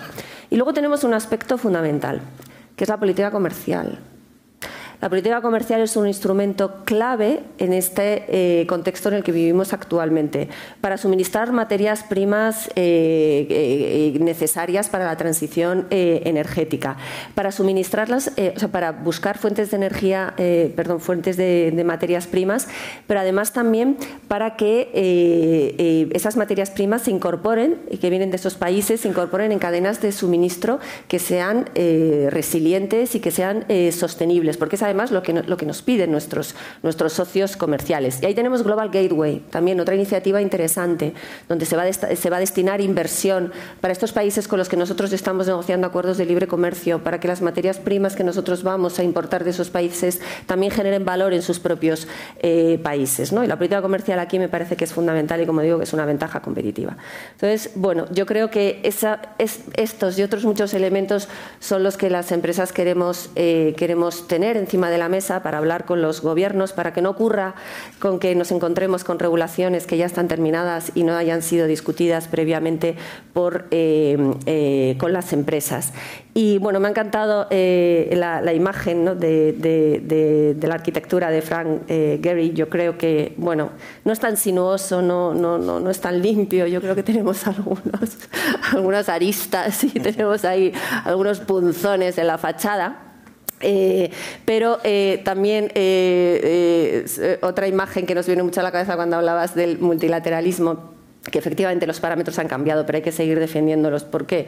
Porque eso nos, da, eh, eh, nos hace la situación más predecible y, más segura eh, a la hora de tomar decisiones y eso es fundamental. Y en estos momentos, bueno, pues el multilateralismo se ve como una pista de baile. Esto lo comentamos en, también en muchos foros internacionales, una pista de baile en la que de repente la música ha parado, todo el mundo se ha quedado quieto y todo el mundo está buscando con quién empezar a bailar otra vez. Y eso está muy bien. Y esos son los amigos, los aliados. Yo no sé si, si tú eres mi amigo, eres mi aliado, probablemente seas las dos cosas. Eh, no sé, no sé. Lo que sí que tenemos que buscar es efectivamente con quién queremos eh, bailar, porque bailamos al mismo, al mismo ritmo, porque nos entendemos. Y para eso necesitamos una música que sea común en la sala. Porque si no vamos a diferente ritmo, nos vamos a tropezar y nos vamos a caer. Marta. Amigos sí. Pareja de baile te recomiendo que busques mejor. Ah, Hay que aprender a bailar. Sí, efectivamente, en términos literales y también figurados. Ah, bueno, tengo bastantes preguntas que me han llegado por el chat. Voy a intentar un poco agruparlas y también dar eh, paso a, algunas de, de, las inquietudes que yo creo que han quedado por el camino. ¿no? Entonces tengo una primera eh, que es, pues, es, complicada. Entonces, eh, se la voy a pasar a Federico, que es buen amigo, me la va a perdonar. Eh, ¿Sería posible que la Unión Europea pueda mediar o acercar posiciones entre China y Estados Unidos? Quizá tengamos la posibilidad luego de comprometer a Emily también para que nos responda y seguramente nos diría, ¿qué? ¿Qué me está diciendo? ¿Europa quiere mediar entre quién? dicen, por ejemplo, en el ámbito de la cooperación internacional, hasta qué punto a Europa le conviene energética y políticamente seguir la posición de Estados Unidos de realidad con China en el Pacífico. Esta es una pregunta más de tipo geopolítico. Ah, Federico. Eh, yo creo que estructuralmente lo único en lo que está de acuerdo todo el mundo en Estados Unidos es que la amenaza y la rivalidad con China eh, es el elemento fundamental. Y yo creo que de ahí Mm, no les va a mover nada que, hagan que nadie haga desde fuera. Dicho esto, sí que es verdad que ahora mismo en Estados Unidos hay en la administración, hay, hay, hay gente que es más dura con China, y hay gente que es menos dura. Hay gente que cree que la invasión de Taiwán es inminente, sobre todo en el Departamento de Defensa. Hay gente que opina que no y que de hecho es perfectamente evitable, más bien en, economía, en exteriores, etc. Eh, y entonces lo que podría hacer la Unión Europea, si acaso, es buscar algunos de los temas en los que eh, las élites americanas entienden que se van a tener que poner de acuerdo con China pase lo que pase. Que fundamentalmente a día de hoy son en el medio largo plazo los temas de cambio climático, en el tema de corto plazo los problemas de endeudamiento y de default de muchos países emergentes que con la subida de los tipos de interés internacionales se están complicando y ahí China tiene una posición eh, importante porque es acreedor principal de muchos de estos países fuera de los foros como el Club de París. Y luego los temas digamos de, gobernanza más eh, suave sobre salud global eh, algunos elementos de cooperación etcétera. Ahí a lo mejor la Unión Europea tiene que ocupar pero en la parte dura de seguridad yo lamentablemente creo que tenemos poco que hacer. Aún así, creo que Europa tiene que tener una posición distinta de la de Estados Unidos en relación a China, porque lo que veo muy claro, sobre todo con la administración Biden, es que hay una presión muy fuerte para alinear a la Unión Europea con Estados Unidos, que dependiendo de lo que pase en las elecciones presidenciales de Estados Unidos a final del año que viene, podría cambiar. Y Europa, como nos suele pasar, pues no tiene un plan B claro eh, sobre qué pasaría si hay un republicano que decide que eh, el involucramiento en Ucrania se acabó, que lo único que importa es China y que además Europa pues, eh, será un aliado, pero menos, más prescindible. Y eso podría suceder dentro de dos años.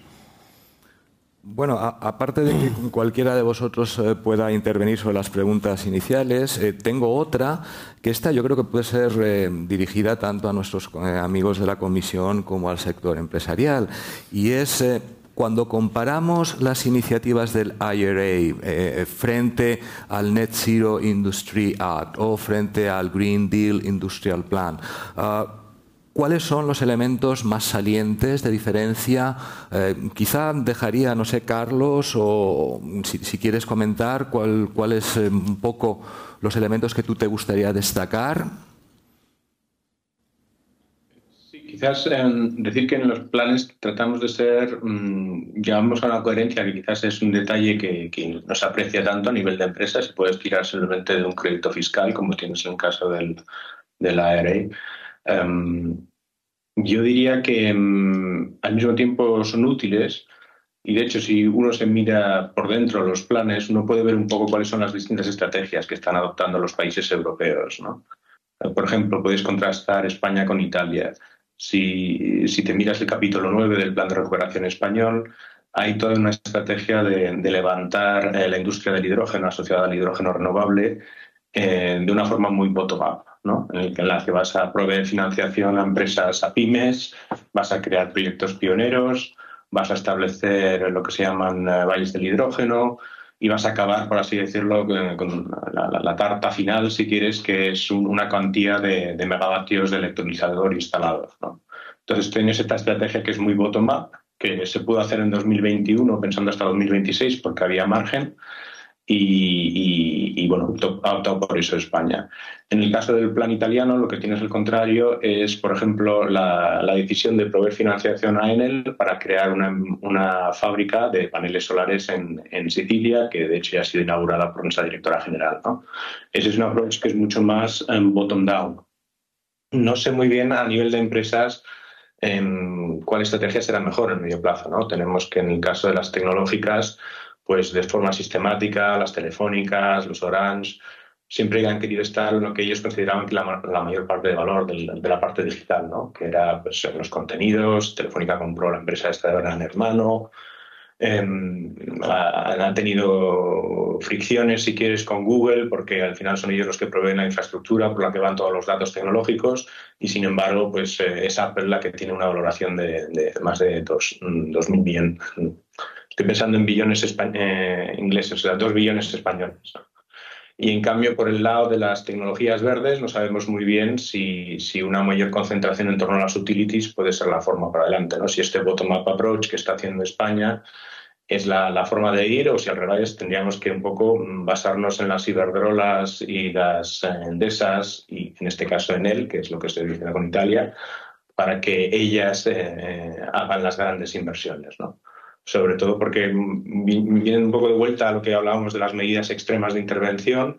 Ahí el objetivo en muchas ocasiones ha sido precisamente limitar márgenes, porque se estaban, eh, o sea, estaban saliendo por el tejado, de tal forma que, es que los consumidores o sea, estaban siendo, bueno, pues, no, no, voy a usar un adjetivo, pero bueno, estaba muy claro que los márgenes estaban saliendo por los tejados, ¿no? Y, las, las, que estaban beneficiando de eso eran las utilities y grandes, gran parte de las medidas ha sido básicamente tratar de atajar esa, esa subida tan extrema de las... Mm, pero bueno, una cosa es que lo puedas hacer en un momento puntual, tirando del artículo 122 del tratado, y otra cosa es que eso lo vayamos a poder mantener en el largo plazo. Yo creo que está claro que no hay esa intención por parte de lo que mencionaba un poco de la Comisión. Hemos bajado a nivel de, de terreno en el que, bueno, si hay que hacerlo se hace, pero no nos sentimos tan cómodos pero en medio y largo plazo pensamos que es, esta, cómo se desarrollan los mercados, eso es cómo se desarrollan los mercados, no lo vamos a teledirigir y, y probablemente esos márgenes que existen van a seguir siendo muy elevados para las tecnologías inframarginales. ¿no? Y en ese sentido da la impresión que sí que hay una señal de mercado muy fuerte para seguir invirtiendo en renovables, porque en el medio y largo, el, perdón, esperemos que en el medio y largo plazo no, pero en el corto plazo, desde luego, el gas va a seguir siendo tecnología que marca precio y que fija un poco las condiciones para el resto.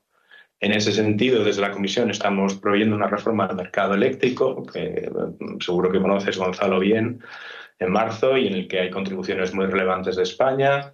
El objetivo es precisamente en conseguir, eh, yo creo que el principal, aunque se ponen muchos, pero el principal es desligar los precios del gas del precio de la electricidad. Eh, si eso pasa, efectivamente esos márgenes serán menores, pero bueno, veremos si tendremos éxito y entre tanto yo creo que las utilities tienen unos márgenes tremendos para ser un poco las que lideran ese proceso de, de, de reajuste. ¿no? Y en España tenemos ejemplos de utilities muy relevantes que han tenido unos resultados extraordinarios precisamente porque vieron esto, ¿no? Y yo creo que ese proceso en este momento no va a parar. Eh, entonces, bueno, yo creo que también va a haber una segmentación entre empresas muy grandes. En hidrógeno, España ha optado por el bottom-up approach, el, el, componente 9, repito. En el optado por el top-down. Mm, nosotros, como digo, tratamos siempre, es algo que decimos, de ser tecnológicamente neutros, empresas neutros y después cambiamos el approach según donde viene y sacamos políticas para pymes y políticas para, pero bueno, en este sentido yo creo que estamos un poco a la espera, ¿no? Yo creo que es un poco mm, eh, demasiado pronto para pronunciarse, decir va a ser esta la forma en la que pase. Yo creo que en el ámbito digital sí que lo sabemos. Eh, la valoración de Apple es la que es comparada con Telefónica. En las utilities quizás pase otra cosa. Las utilities y todo el cambio de la transición verde. Verdad. Yo quería hacer un comentario un poco más macro, un poco más estructural. ¿no? Preguntabas por las diferencias entre la legislación eh, americana y bueno, nuestros planes y demás. Yo creo que también muchas veces, eh, mm, no sé si todo el mundo estará de acuerdo, probablemente no, pero muchas veces uno piensa que cuando en la administración americana se adopta una legislación, la implementación es más fácil. Eh, la gobernanza es más fácil. Cuando allí hay mucha discusión política y demás previa, pero luego hay voluntad política y, eso va más rápidamente. ¿no? Y uno ve que aquí en la Unión Europea, pues llegar a acuerdo, desarrollar toda la legislación posterior y, demás, pues se hace muy, muy complicado. ¿no? Y luego también en, todos lo, que está, o sea, todos los planes que, tenemos y demás, y esa reacción que se está produciendo a lo que está haciendo Estados Unidos, bueno, también uno ve que puede existir en el mercado europeo un cierto riesgo, ¿no? Federico mencionaba el mercado interior.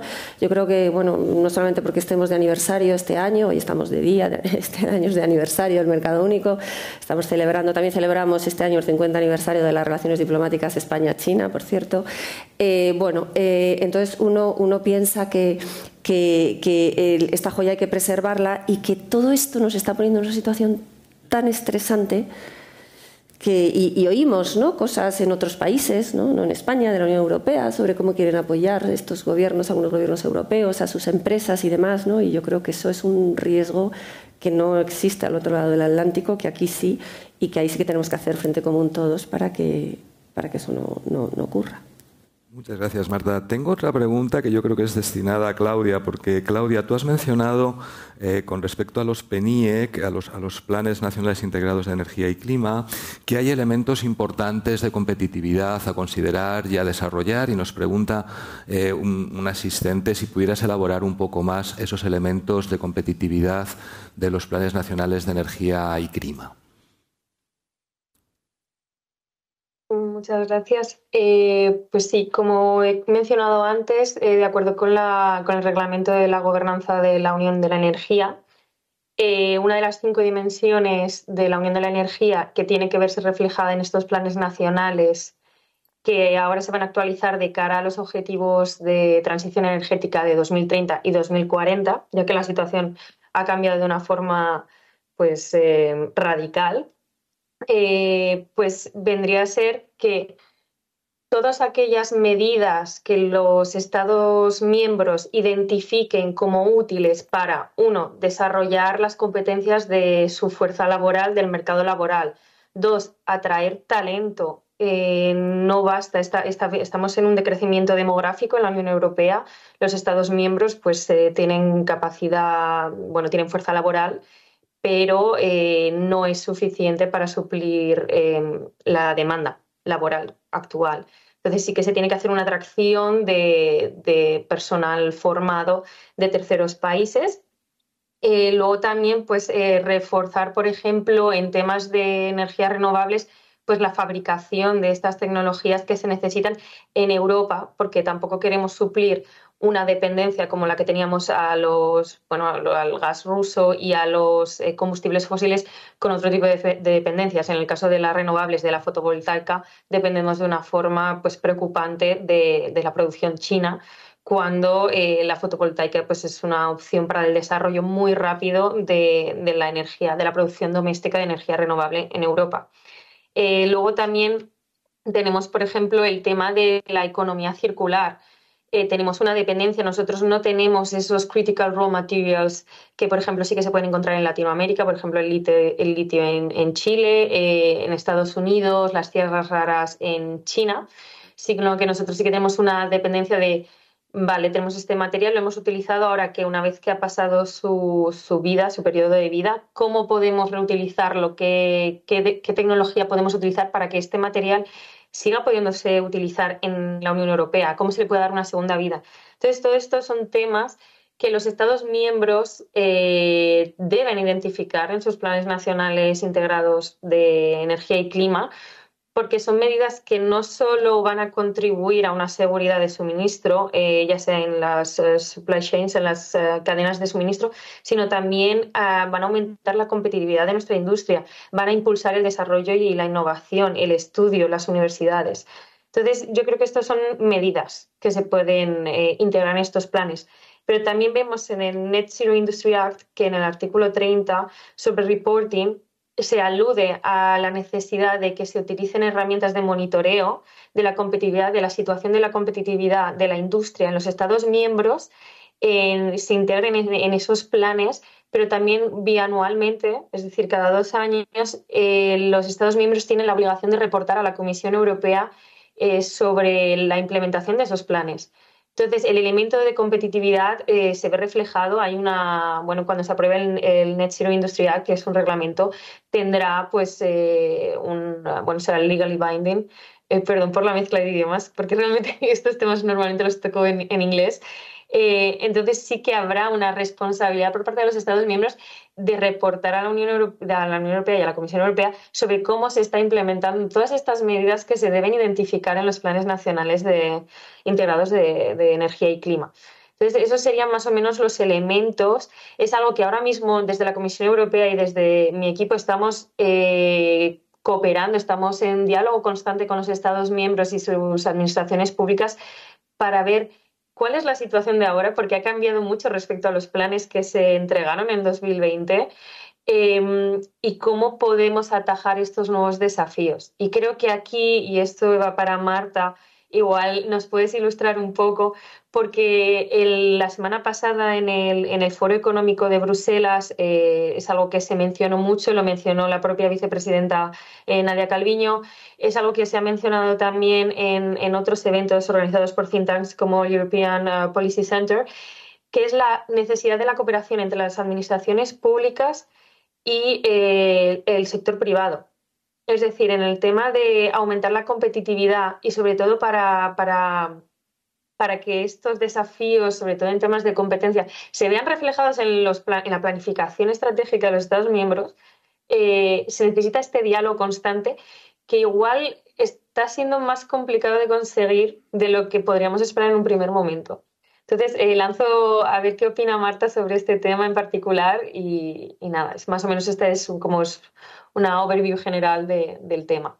Muchas gracias, Claudia. Pues si me permites, voy a sumar a tu pregunta otra que viene del público, que voy a destinar también a Marta, pero si quieres, Carlos, quizá tú puedas intervenir al respecto. Eh, la, leo tal cual. ¿Empieza a ser la Unión Europea consciente de que la agilidad en las ayudas es un aspecto clave para que la transición se pueda hacer al ritmo necesario? Puedes agrupar las dos y Carlos, si quieres eh, comentar algo y si nos da mm, tiempo, incluso mm. dejamos un minuto a Federico para que nos diga qué va a pasar en el futuro.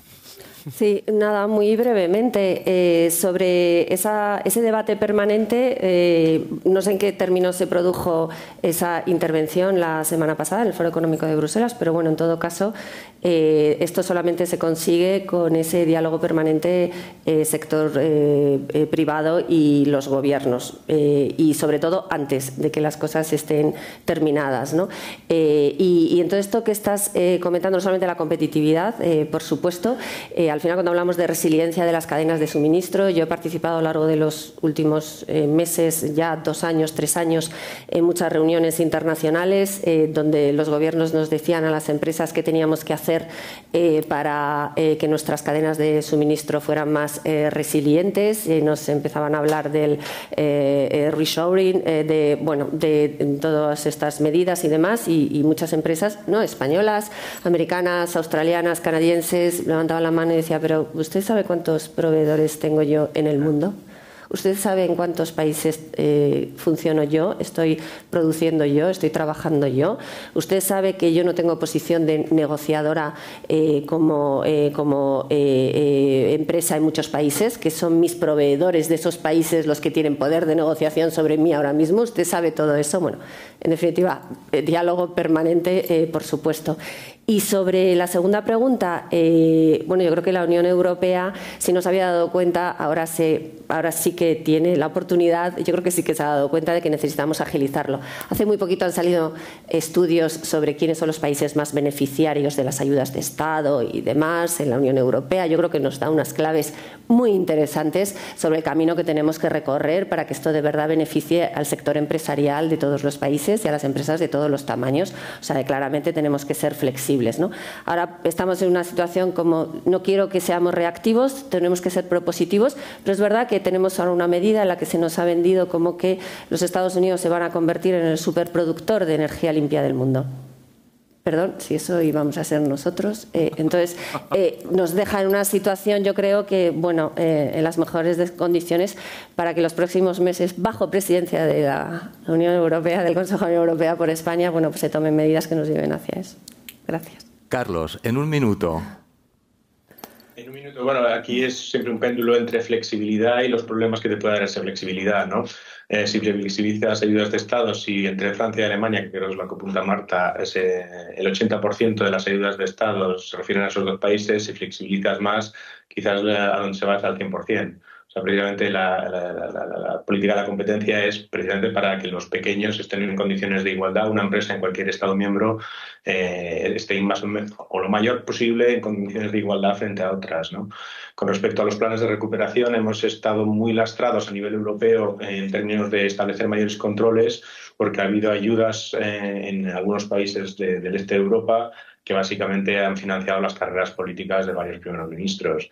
Eh, no quiero poner nombres porque entonces ya probablemente me tendría un problema legal, pero yo creo que es relativamente sabido que es por eso por lo que se estableció este criterio de queremos saber cuál es el beneficiario último de las ayudas y está en los eh, ministerios de Hacienda, en los notarios, etcétera, eh, ser capaces de proveer esa información. Obviamente eso introduce rigideces Hemos tratado de darle la vuelta en otros aspectos, en, que el dinero directamente se lo, transferimos a, la cuenta que tiene el, Tesoro Español, en, eh, bueno, perdón, el Banco de España, el Banco Central Europeo.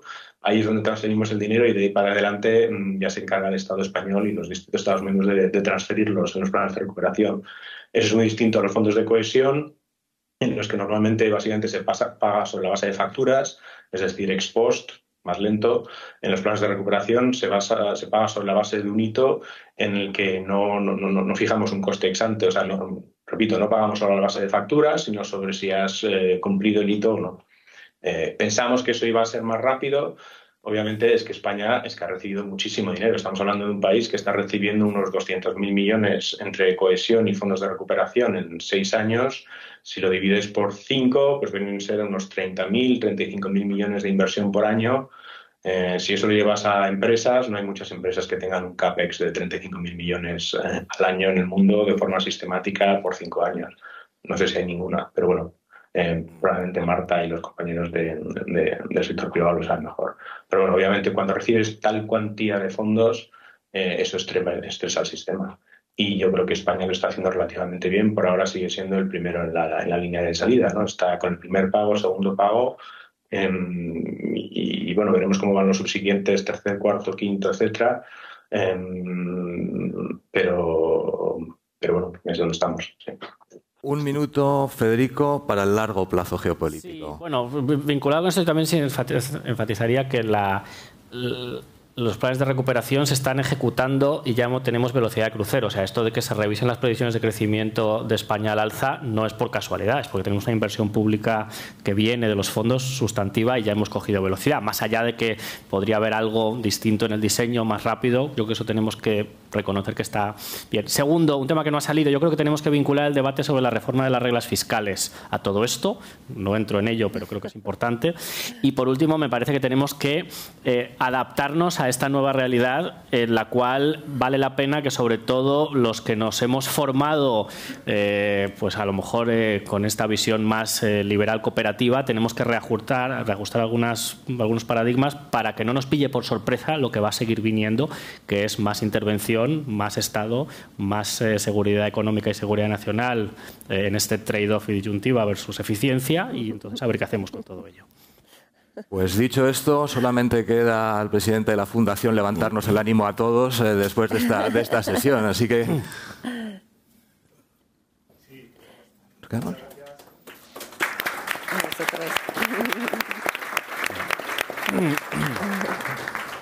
Sí, efectivamente. Bueno, muchas gracias a todos. En primer lugar, Gonzalo, Marta, Federico, Carlos y, Claudia. Un montón de cosas. Hemos hablado de política industrial, política climática, bueno, algo que no debe sorprender mucho porque este es un problema realmente complejo. Como decía Gonzalo, para finalizar esta segunda sesión eh, eh, de celebrada conjuntamente entre el Instituto Elcano y Fundación Naturgy, cedo la palabra a Rafael Villaseca, presidente de la Fundación Naturgy. Muchas gracias. Muchas gracias, Manuel. En primer lugar, quisiera agradecer a todos los ponentes y al moderador la excelente jornada que hemos tenido. Eh, tema apasionante que ha conseguido reunir hoy a, a mucha gente a través de de las líneas informáticas y también aquí físicamente. El tema, el tema lo merece, es apasionante y sin duda alguna ha dado lugar a un debate amplio que nos permite tener una visión general, poner orden, se decía antes, estoy de acuerdo, a todos los muchos problemas de esta naturaleza geoestratégica que, que envuelven el mundo de la energía. No es nuevo. La energía ha estado envuelta desde sus orígenes eh, en, la, en la prehistoria a un montón de condicionantes de tipo geoestratégico. Sin embargo, ahora ha cogido una enorme velocidad de crucero y es de alegrarse, pese a que la ocasión que lo merita es la desgraciadísima guerra de Ucrania, por cuanto muchos de los problemas en los que nos estamos enfrentando ahora, se han citado muchos, la debilidad de la cadena de suministro, la inconveniencia de determinadas relaciones geoestratégicas en energía, la falta de una adecuada política industrial, las dificultades para hacer frente al cambio climático, etcétera, etcétera, etcétera, no son nuevas.